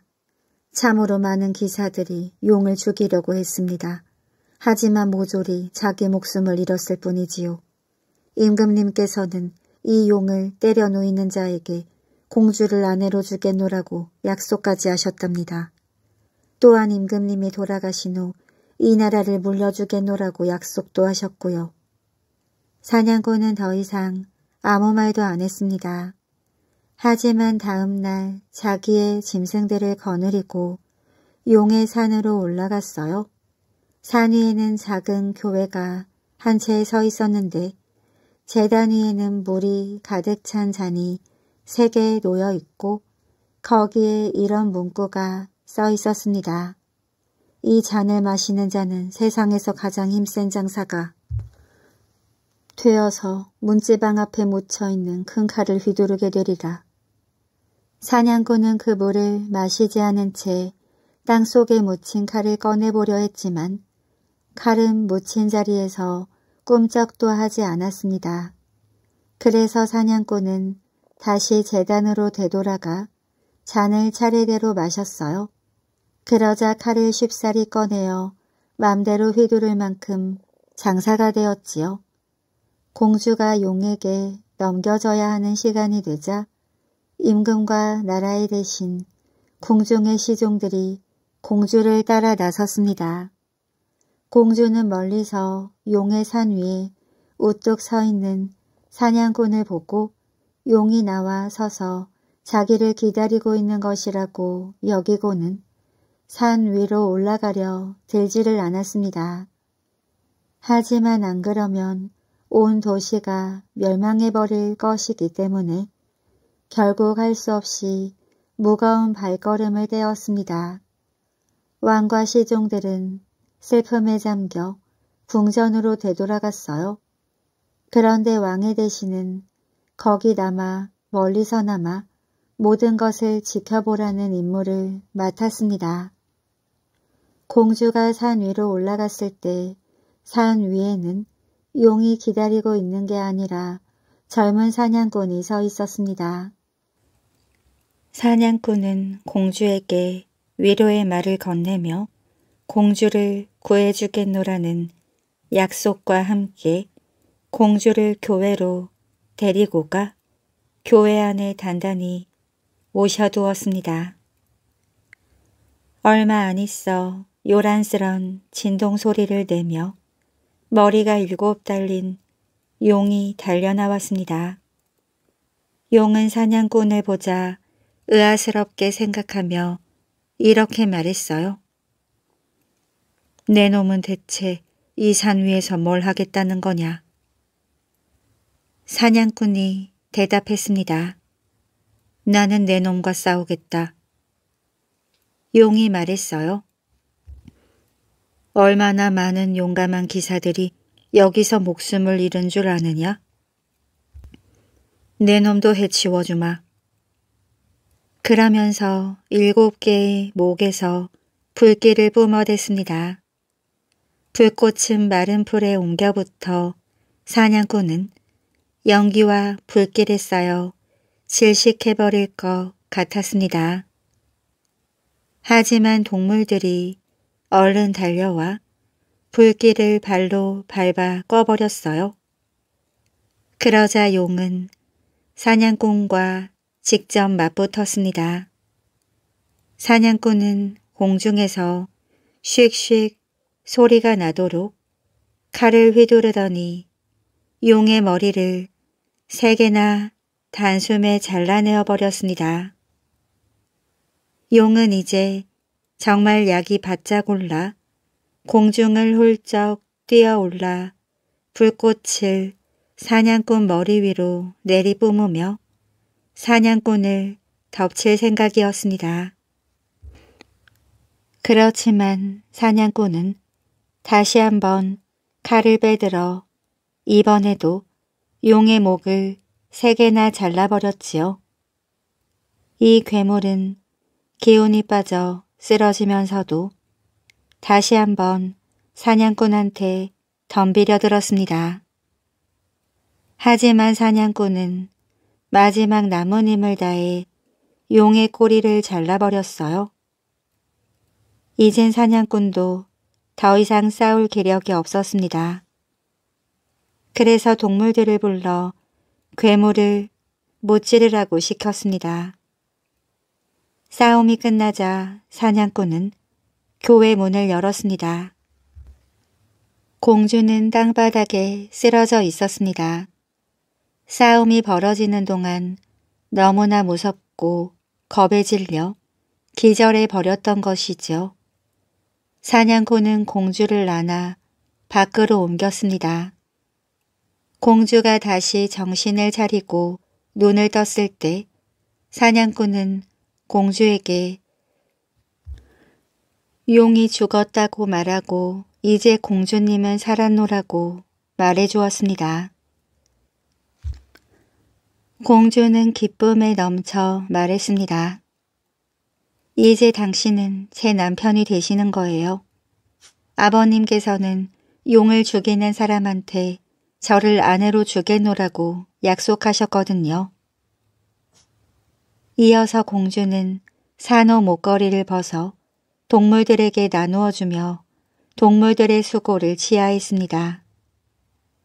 사자는 그 중에서 작은 좌물쇠를 받았지요. 그리고 공주는 자기의 이름이 수놓인 손수건을 사냥꾼에게 선사했습니다. 그 일이 끝나자 사냥꾼은 싸움을 하느라 기진맥진했기 때문에 공주에게 말했습니다. 우리는 둘 다 기진맥진해 있어요. 그러니 잠깐만 잠을 자도록 합시다. 그들은 땅바닥에 누웠습니다. 그리고 사냥꾼은 사자에게 이렇게 일렀어요. 우리가 자는 동안 아무도 덤벼들지 않게 너는 보초를 서도록 해라. 이어서 두 사람은 곧 잠이 들었습니다. 사자는 보초 노릇을 하기 위해 그들 옆에 들어 누웠어요. 하지만 사자도 싸우느라 너무나 지쳐 있었습니다. 그래서 곰을 불러 이렇게 말했지요. 내 옆에 누우렴. 나는 잠깐 잠을 자야겠다. 누가 오면 나를 깨워라. 그래서 곰은 사자 옆에 누웠습니다. 하지만 곰도 너무 피곤해서 늑대를 불러 이렇게 말했어요. 내 옆에 누우렴. 나도 잠깐 잠을 자야겠다. 누가 오면 나를 깨워라. 그러자 늑대가 곰 옆에 누웠습니다.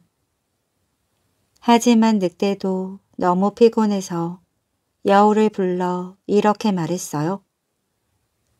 내 옆에 누우렴. 나는 잠깐 잠을 자야겠다. 누가 오면 나를 깨워라. 그러자 여우는 늑대 옆에 누웠습니다. 하지만 여우도 너무 피곤해서 토끼를 불렀습니다. 토끼도 피곤했지만 보초를 설하고 부를 친구가 없었기 때문에 부르지 못하고 그만 잠이 들어버렸습니다. 이렇게 해서 모두가 깊은 잠에 빠져버렸답니다. 그런데 한편 멀리서 이 모든 것을 지켜보던 대신은 용이 공주를 납치해 날아오르는 장면은 벌어지지 않고 산 위가 쥐죽은 듯 잠잠해진 것을 보자 용기를 내어 산 위로 올라갔어요. 산 위에는 용이 죽어 있었고 얼마 떨어지지 않은 곳에 공주와 사냥꾼, 동물들이 가지런히 누워 깊은 잠에 빠져 있었지요. 대신은 신보가 고약하고 하늘을 무서워할 줄 모르는 사람이었기 때문에 서슴없이 칼을 빼어 사냥꾼을 죽이고 공주를 팔에 안고는 태연히 산을 내려왔습니다. 그때 공주가 눈을 뜨고 깜짝 놀랐어요. 그때 대신이 말했습니다. 당신은 지금 내 소나기 안에 있어. 용을 죽인 사람이 바로 나였다고 말해야 하오. 그럴 수 없어요. 한 사냥꾼과 그의 동물들이 용을 죽였어요. 그러자 대신은 칼을 빼어들고 순순히 말을 듣지 않으면 공주를 해치겠다고 위협하며 그렇게 하도록 억지로 시켰습니다. 곧이어 대신은 공주를 임금님의 앞으로 데려갔어요. 임금님은 괴물에게 죽음을 당했으리라 여겼던 사랑하는 딸이 다시 살아온 것을 보자 기뻐 어쩔 줄을 몰랐습니다. 대신이 임금에게 말했어요. 소인이 용을 죽여 공주님과 온 나라를 구원했습니다. 그러니 약속대로 공주님을 아내로 주십시오. 임금님은 공주에게 물었습니다. 이 사람 말이 사실이냐? 네.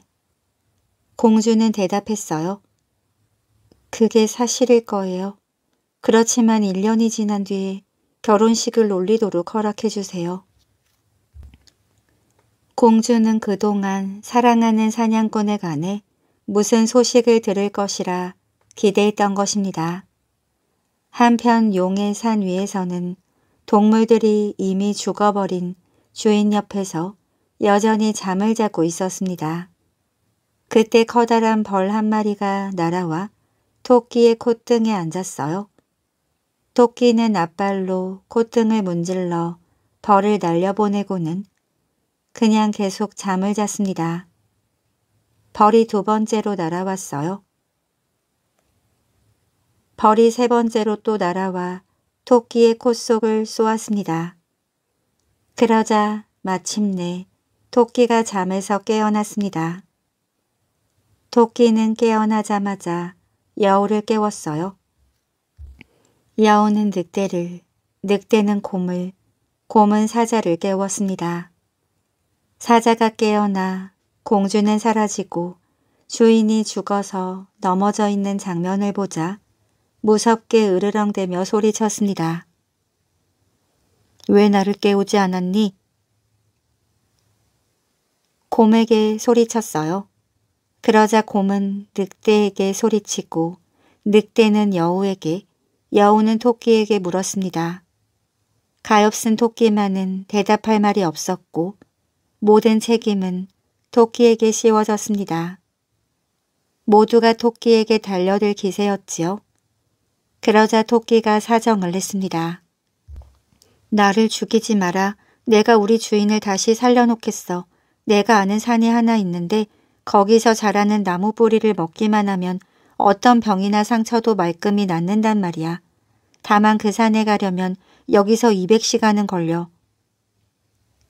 사자가 말했습니다.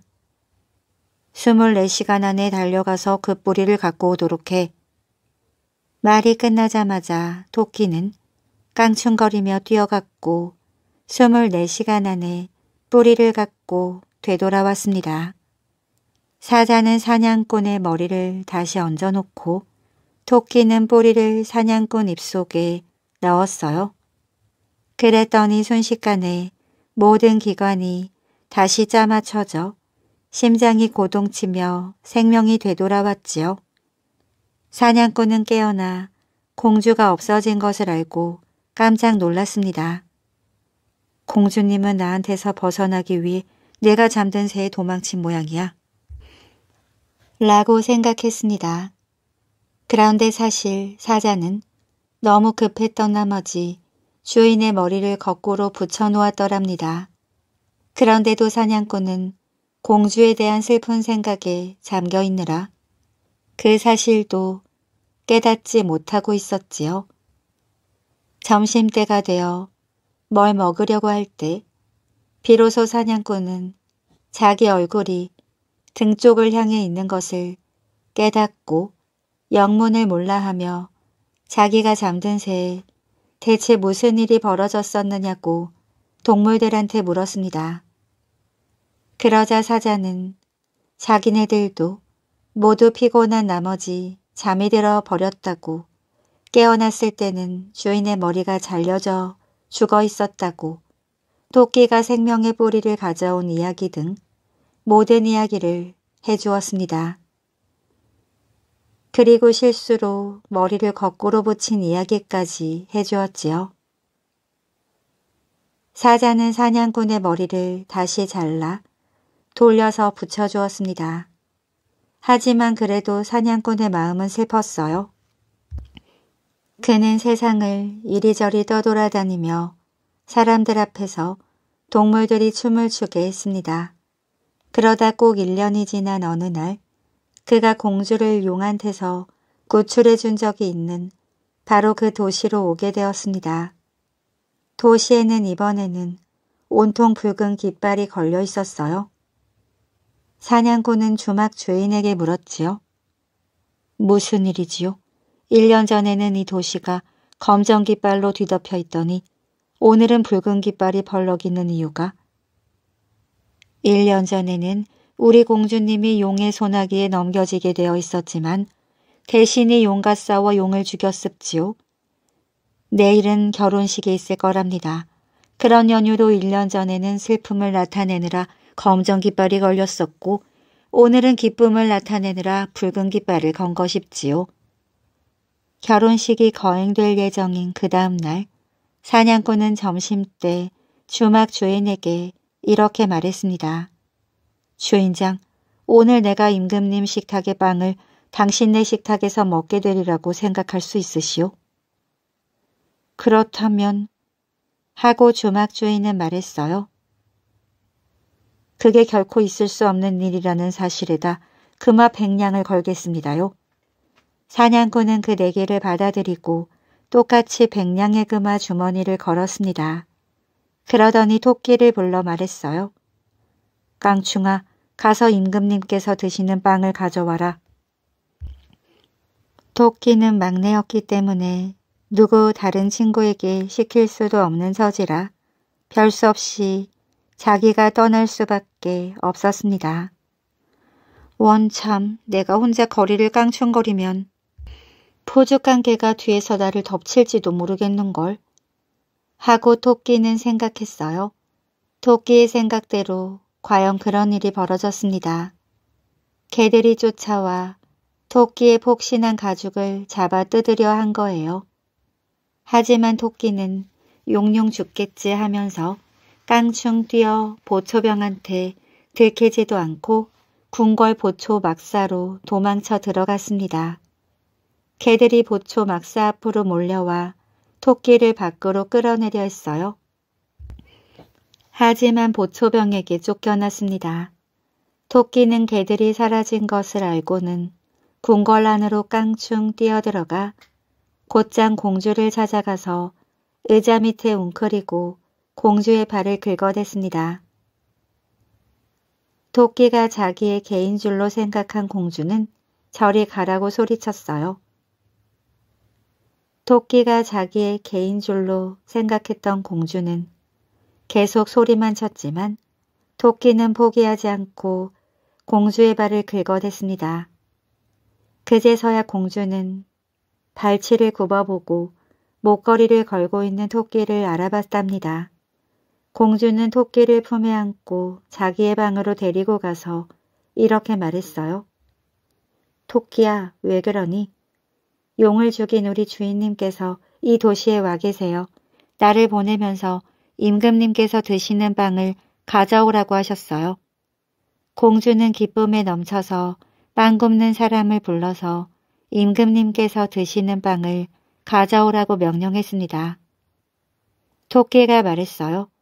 하지만 저 빵 굽는 어른께서 빵을 들고 나를 따라오셔야겠어요. 부죽한 개들한테 내가 혼나지 않게요. 빵 굽는 사람은 주막집 문 앞까지 빵을 날라다 주어야 했습니다. 그제서야 토끼는 뒷발로 오뚝 서서 앞발로 빵을 들고는 주인에게 가져갔지요. 사냥꾼이 말했습니다. 이거 보게 주인장, 금화 백냥은 내 것일세. 조막 주인은 의아스럽게 생각했지만 사냥꾼은 계속 말했습니다. 주인장, 빵은 수중에 넣었고 이젠 임금님께서 드시는 고기구이를 먹어야겠네. 주막 주인은 말했습니다. 그러시길 바랍니다. 하지만 더 이상 내기를 걸 엄두를 못 냈어요. 사냥꾼은 여우를 볼라 말했습니다. 여우야, 가서 임금님께서 드시는 고기구이를 가져오렴. 여우는 새끼를 더 잘 알고 있었습니다. 구석진 곳을 돌아 개구멍을 빠져나가 공주의 발치에 앉아 공주의 발을 긁었습니다. 여우에게 공주가 물었어요. 여우야 왜 그러니? 용을 죽인 우리 주인님께서 이 도시에 와 계세요. 임금님께서 드시는 고기구이를 가져오라고 하셨어요. 그렇게 임금님이 드시는 고기도 주인에게 가져갔습니다. 이거 보게 주인장. 빵이랑 고기는 여기 와 있네. 이제 나는 임금님께서 드시는 야채를 먹어야겠네. 그러고는 늑대를 불러 야채를 가져오라고 했습니다. 그렇게 야채를 가져왔고 이번에는 과자를 가져오라고 곰에게 시켰습니다. 그렇게 곰은 궁궐을 향해 걸어갔어요. 길거리의 모든 사람이 곰을 보자 피에 달아났지요.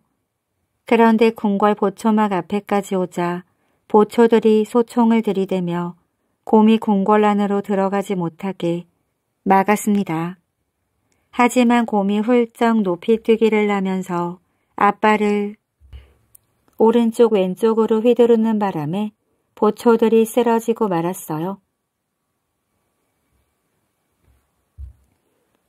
그렇게 과자를 무사히 가져왔고 포도주를 가져오라고 사자에게 시켰습니다. 사자도 공주를 만나 포도주를 사자에게 주라는 명령을 받은 시종이 사자와 함께 포도주 창고로 내려가게 되었습니다. 창고 안에 들어서자 시종은 임금님의 시종들이 마시는 보통 포도주를 사자한테 주려 했어요. 그러자 사자가 말했습니다. 잠깐, 내가 그 포도주를 먼저 시음해봐야겠어. 사자는 반 리터의 포도주를 따라 단숨에 꿀꺽 마셨습니다. 이건 진짜가 아니야. 시종가는 못마땅한 눈초리를 사자한테 보내면서 임금님의 대신이 마시는 다른 술통에서 포도주를 따라 주려 했습니다. 이건 맛이 좀 낮군. 하지만 이것도 아니야. 이런 멍청한 짐승이 포도주에 관해 뭘 안다고 잔소리야? 시종가는 화를 냈습니다. 하지만 사자가 무섭게 아발을 들자 임금님 포도주가 저장된 특별한 창고로 묵묵히 안내했습니다. 그렇게 사자는 시종관에게 여섯 병을 포도주로 가득 채우라고 명령했어요. 사자는 지하실에서 밖으로 나오더니 거나하게 취해 약간 비틀거렸습니다. 시종관은 할 수 없이 술병을 문 앞까지 날라다 주었어요. 사냥꾼은 말했습니다. 이거 보게 주인장, 이제 임금님께서 드시는 것과 꼭 같은 빵, 고기, 야채, 과자, 포도주가 와 있으니 지금부터 내 동물들이랑 만찬을 일겠네. 그러고 식탁에 앉아 식사를 들고 포도주를 마시며 동물들에게 먹을 것과 마실 것을 나눠 주었습니다. 사냥꾼의 기분은 말할 수 없이 좋았어요. 공주께서 아직도 자기를 사랑하고 있다는 사실을 알았으니까요. 주인장, 나는 임금님이 드시는 음식을 먹고 마셨네. 이젠 궁궐로 가서 공주와 결혼할 작정이네. 주막 주인이 말했습니다. 공주한테는 이미 신랑이 정해져 있고 오늘이 결혼식 날인데 어찌 그럴 수가 있습니까? 지금껏 벌어진 모든 일은 믿는다 해도 당신이 공주를 아내로 맞는다는 일은 믿을 수 없습니다. 내 집이랑 정원을 모조리 걸 수도 있어요. 그러자 사냥꾼은 그마 천냥이 든 주머니를 꺼내 식탁 위에 놓으면서 말했습니다. 그럼 나는 이걸 걸겠소. 한편 임금님은 식탁을 받으면서 공주에게 물었습니다. 너를 찾아와 이 궁궐을 들락거린 그 사나운 동물들은 무슨 볼 일이 있었던 거냐? 그러자 공주가 대답했어요. 내 입으로는 그 이유를 말할 수 없어요. 그렇지만 사람을 보내서 이 동물들의 주인을 모셔오도록 하셔요. 그것이 아버님께 더 좋을 것입니다. 임금은 신하를 한 사람 주막으로 보내어 낯선 남자를 데려오도록 시켰습니다.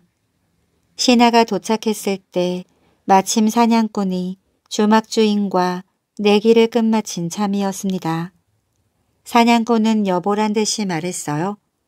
이거 보게 주인장, 임금님께서 신하를 보내 나를 초대하시지 않았나? 그렇지만 이렇게 그냥 가진 않겠네. 신하에게 말했습니다. 왕의 옷과 여섯 필의 말이 끄는 마차와 나를 보필할 신하를 보내주실 것을 임금님께 정하오. 임금님은 이 대답을 듣자 공주에게 물었습니다. 어떻게 하면 좋겠느냐. 그분이 원하는 대로 모셔오도록 하셔요. 그것이 아버님께도 좋을 것입니다. 그러자 임금님은 왕의 옷과 여섯 필의 말이 끄는 마차와 낯선 손님을 보필할 신하들을 보냈습니다. 주인장, 내가 요구했던 대로 나를 모시러 오지 않나? 그렇게 말한 사냥꾼은 왕의 옷으로 갈아입고 왕궁으로 떠났습니다. 임금님은 사냥꾼이 오는 광경을 보고 공주에게 말했어요. 내가 저 사람을 어떻게 맞아야 하겠니? 마중을 나가십시오. 그것이 아버님께도 좋을 것입니다. 그러자 임금님은 마중을 나가 사냥꾼을 상단으로 안내했습니다. 동물들도 그 뒤를 따랐지요. 임금님은 사냥꾼에게 공주와 자신의 가운데 자리를 내주었고 대신은 신랑으로서 그 반대편에 앉았습니다. 하지만 대신은 사냥꾼을 알아보지 못했어요. 그리고는 사냥꾼은 공주의 이름이 수놓인 손수건을 들어 공주에게 보이며 그 손수건을 누구에게 선사했느냐고 물었습니다. 그러자 공주는 대답했어요. 용을 죽인 승리자한테요. 그러자 사냥꾼은 자기의 동물들을 불러 모두에게서 목걸이를 벗기고 사자한테서는 황금 자물쇠를 벗기어 공주에게 보이며 그것의 옛날 주인이 누구였느냐고 물었습니다. 공주는 대답했어요. 그 목걸이와 황금 자물쇠는 제 것입니다. 나는 그것들을 용을 죽이는 일을 도와준 동물들에게 나누어 주었어요. 그러자 사냥꾼이 말했습니다. 내가 싸우느라 지쳐 한참 자고 있을 때 대신이 와서 내 머리를 잘랐던 겁니다. 그러고 나서 그는 공주님을 안고 내려가 용을 죽인 자가 자기라고 거짓 주장을 한 것입니다. 그러자 임금님이 공주에게 물었어요. 이 사람이 용을 죽였다는 말이 사실이냐? 공주가 대답했습니다. 사실입니다. 이제 저는 대신의 추행을 큰 소리내어 말해도 괜찮게 되었습니다. 내 말이 아니라도 어차피 그 추행은 불을 보듯 환하게 드러났으니까요. 사실 대신은 내게 침묵하라고 억지로 맹세를 시켰습니다. 그래서 저는 1년이 지난 뒤에 결혼식을 올리겠노라고 고집을 부렸던 겁니다. 이렇게 해서 대신은 처벌을 받았고 임금님은 딸을 사냥꾼에게 넘겨주며 그를 온 나라의 부왕으로 임명했습니다. 결혼식은 기쁨의 물결 속에서 거행되었지요. 젊은 왕은 자기를 낳아준 부친과 길러준 부친을 모셔와 갖가지 보물을 선사했습니다.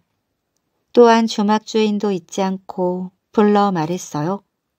주인장, 나는 공주와 결혼했네. 그러니 자네의 집과 정원은 내 것일세. 주막주인은 그렇다고 대답했습니다. 그러나 젊은 왕은 말했어요. 단감해 주겠네.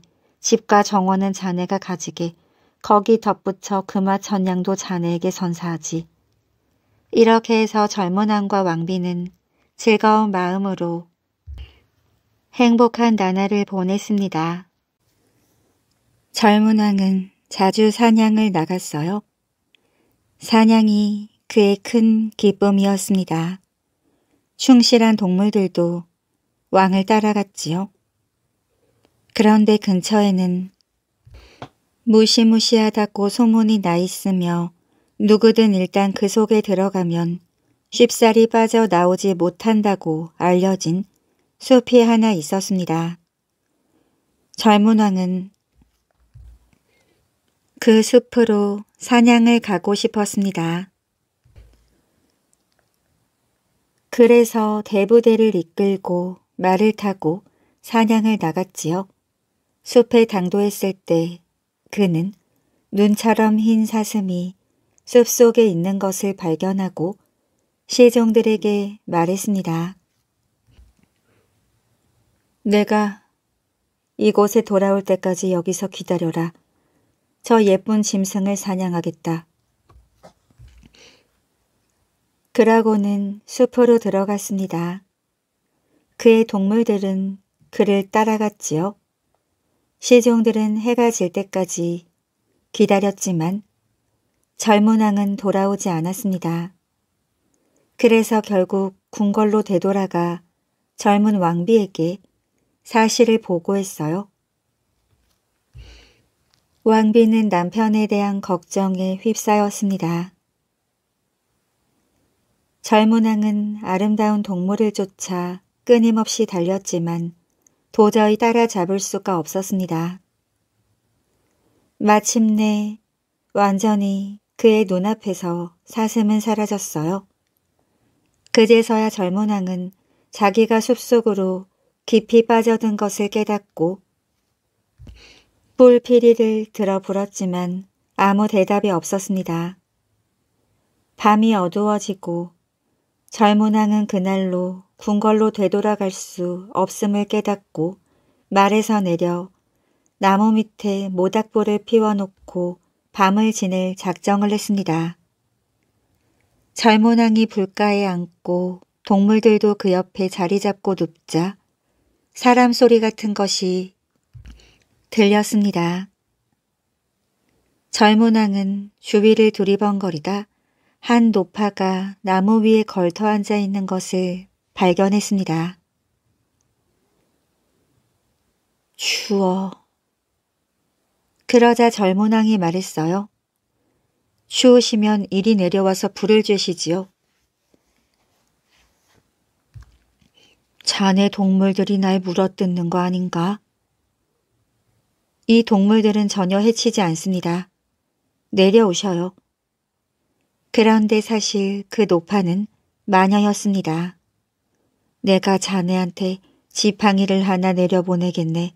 자네가 그것으로 동물들 등을 때려주면 동물들이 나를 해치지 않게 될 걸세. 젊은 왕은 노파가 준 지팡이로 동물들을 때렸습니다. 그러자마자 동물들은 소리 없이 누운 채 바위로 변해버렸어요. 마녀는 동물들한테서 안전하게 되자 뛰어 내려와 젊은 왕조차 지팡이로 건드려 바위로 변신시키고 말았답니다. 그리고는 젊은 왕과 동물들을 굴 속으로 끌고 갔어요. 굴 속에는 이미 그렇게 변해버린 다른 돌들이 많이 있었습니다. 한편 젊은 왕이 돌아오지 않자 왕비의 불안과 걱정은 날로 커져갔습니다. 그런데 바로 그 즈음 지난 날 헤어질 때 동쪽으로 떠났던 쌍둥이 형이 이 왕국에 당도했습니다. 쌍둥이 형은 일자리를 찾았으나 신통한 일자리를 찾지 못해 정처 없이 떠돌아다니며 동물들한테 춤을 추게 하며 지냈던 겁니다. 그러다가 쌍둥이 동생의 소식이 궁금해져서 그들이 헤어질 때 나무둥치에 꽂아 놓았던 칼을 한번 보러 가야겠다는 생각이 떠올랐습니다. 그 자리에 당도해 보니 동생 쪽의 칼날이 반은 녹슬어 있고 반은 아직 번쩍이고 있었어요. 형은 깜짝 놀랐습니다. 동생한테 분명코 큰 불행한 일이 닥친 모양이다. 하지만 칼날의 반쪽이 아직 번쩍이고 있는 걸 보면 구할 수 있을는지 모르겠다. 쌍둥이 형은 자기의 동물들을 이끌고 서쪽으로 향했습니다. 그런데 그가 도시로 들어가는 큰 문을 통과할 때 보초가 다가와서 왕비에게 이 소식을 알려도 좋겠느냐고 물었습니다. 젊은 왕비는 벌써 며칠 전부터 그가 돌아오지 않아 큰 시름에 잠겨 있었어요. 보초는 물론 이 쌍둥이 형을 젊은 왕이 돌아온 것으로 믿었던 것입니다. 그렇게 형은 동생과 똑같은 모습이었고 야생 동물들까지 똑같이 그를 따르고 있었으니까요. 그제서야 형은 지금 자기 동생을 두고 하는 말이라는 것을 깨닫고 어쩌면 내가 동생 노릇을 하는 편이 좋은 일일지 모르겠다. 그래서 동생을 구할 수 있는 길이 쉽게 열릴지도 모를 일이야. 라고 생각했습니다. 그래서 그는 보초의 안내를 받아 궁궐로 들어갔어요. 젊은 왕비는 형을 자기 남편이라고 의심 없이 믿었습니다. 숲속에서 길을 잃어서 지금껏 헤맸소. 밤이 되자 형은 왕의 침실로 안내되었습니다. 하지만 그는 쌍나리 성 칼을 자기와 젊은 왕비 사이에다 세워놓았어요. 왕비는 대체 무슨 영문인지 몰랐지만 물어볼 엄두는 내지 못했습니다. 그렇게 쌍둥이 형은 며칠간은 궁중에 머물면서 마술의 숲이라는 것이 어떤 숲인지 모든 것을 알아내었습니다. 그리고 그는 말했어요. 다시 한번 그 숲으로 사냥을 가야겠소. 늙은 임금님과 젊은 왕비는 말렸지만 그는 고집을 피우며 대부대를 이끌고 사냥을 떠났습니다. 숲속에 당도하자 그의 동생한테 벌어졌던 것과 똑같은 일이 벌어졌어요. 그는 새하얀 암사슴을 보더니 시종들에게 일렀습니다. 돌아올 때까지 기다려라.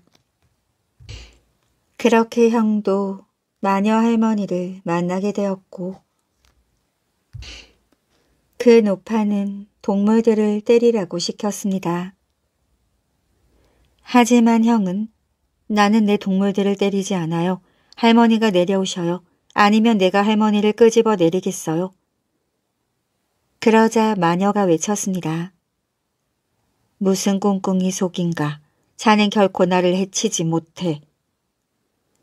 하지만 그는 말했습니다. 내려오지 못하겠어요? 그렇지 않으면 내가 총을 쏘아 떨어뜨리겠어요? 쏴보게나.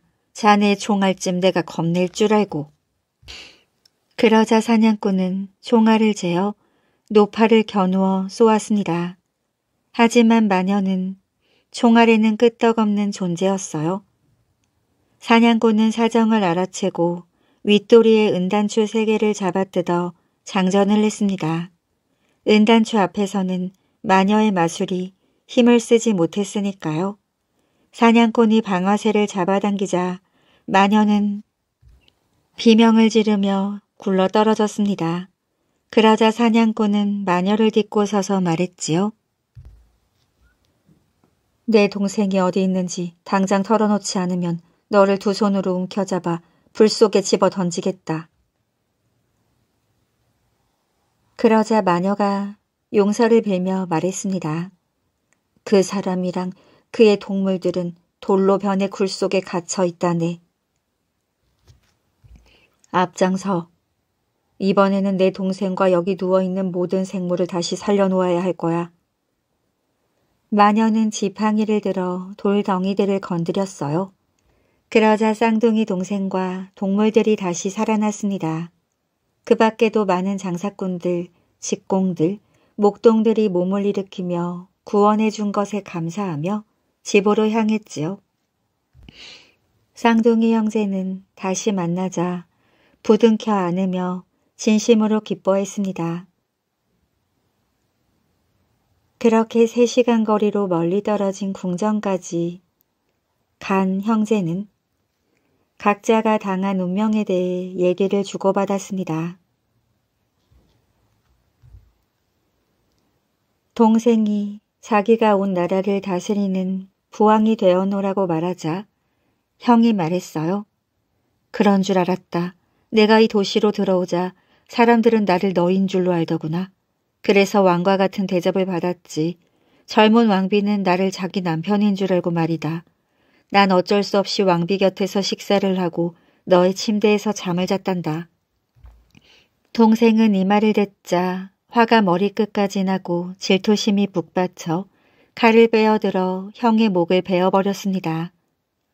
하지만 형이 죽어 넘어져 붉은 피를 흘리는 광경을 보자 후회가 되었어요. 형이 나를 구해주었는데 나는 그 대가로 형을 죽였구나. 그때 토끼가 와서 생명의 뿌리를 가져오겠노라고 말하고는 깡충깡충 뛰어가서 그 뿌리를 가져왔습니다. 덕분에 형이 다시 생명을 찾았고 자기가 상처를 입었다는 사실도 모르고 있었답니다. 그들은 길을 계속해서 갔습니다. 동생이 말했어요. 형은 나와 똑같은 모습인데다 나와 똑같이 왕의 옷을 입고 있어요. 동물들까지 나와 똑같이 형을 뒤쫓고 있고요. 우리 맞은편의 성면으로 들어서서 양쪽에서 동시에 늙은 임금님을 향해 가봅시다. 늙은 임금님은 동시에 양쪽 성문의 보초로부터 젊은 왕이 그의 동물들을 거느리고 사냥에서 돌아왔다는 보고를 들었습니다. 임금님이 말했어요. 양쪽 성문은 한 시간 거리만큼 떨어져 있는데 하지만 그러는 동안에 양쪽에서 쌍둥이 형제가 궁전 마당으로 들어서서 둘 다 위를 향해 올라오고 있었습니다. 늙은 임금님은 공주에게 말했어요. 누가 너의 남편이냐? 나로선 구별할 수가 없구나. 공주는 어쩔 줄 모르고 불안에 휩싸이며 아무 말도 못했습니다. 그러다가 한참 만에 지난날 자기가 동물들한테 선사했던 목걸이 생각이 떠올랐어요. 공주는 목걸이를 살펴 찾다가 한쪽 사자의 목에서 황금 자물쇠를 발견해냈습니다. 이 사자가 뒤따르고 있는 이분이 나의 진짜 남편이에요. 그러자 젊은 왕은 웃음보를 터트리며 말했습니다. 그렇소, 당신 말이 옳소. 밤이 되어 젊은 왕이 침실에 들었을 때 아내가 말했습니다. 왜 당신은 지난 며칠 밤 동안 늘 쌍날이 선 칼을 우리 침대에다 세워놨었지요? 나는 행여 당신이 나를 죽이려는 줄 알았어요. 그제서야 동생은 형이 얼마나 충실했었는가를 깨달았답니다. 오늘도 이야기 재미있게 잘 들으셨나요? 오늘 들려드린 진짜왕 이야기는 그림 형제의 동화 중 한 편입니다. 그림 형제는 독일 민중들을 통해 구전되어 온 이야기들을 수집하거나 프랑스에서 전해온 이야기들도 다루었습니다. 그런데 그림 형제의 동화는 어린이들이 듣기에는 조금 잔인하다는 견해가 있는데요. 거인, 괴물과 같은 상상의 생명체들이 등장하고 그렇다 보니 내용 또한 잔인한 내용이 있을 수밖에 없기 때문입니다. 조금은 잔인하지만 재미있는 그림 형제의 동화와 함께 오늘도 행복한 잠 주무시기를 바랍니다.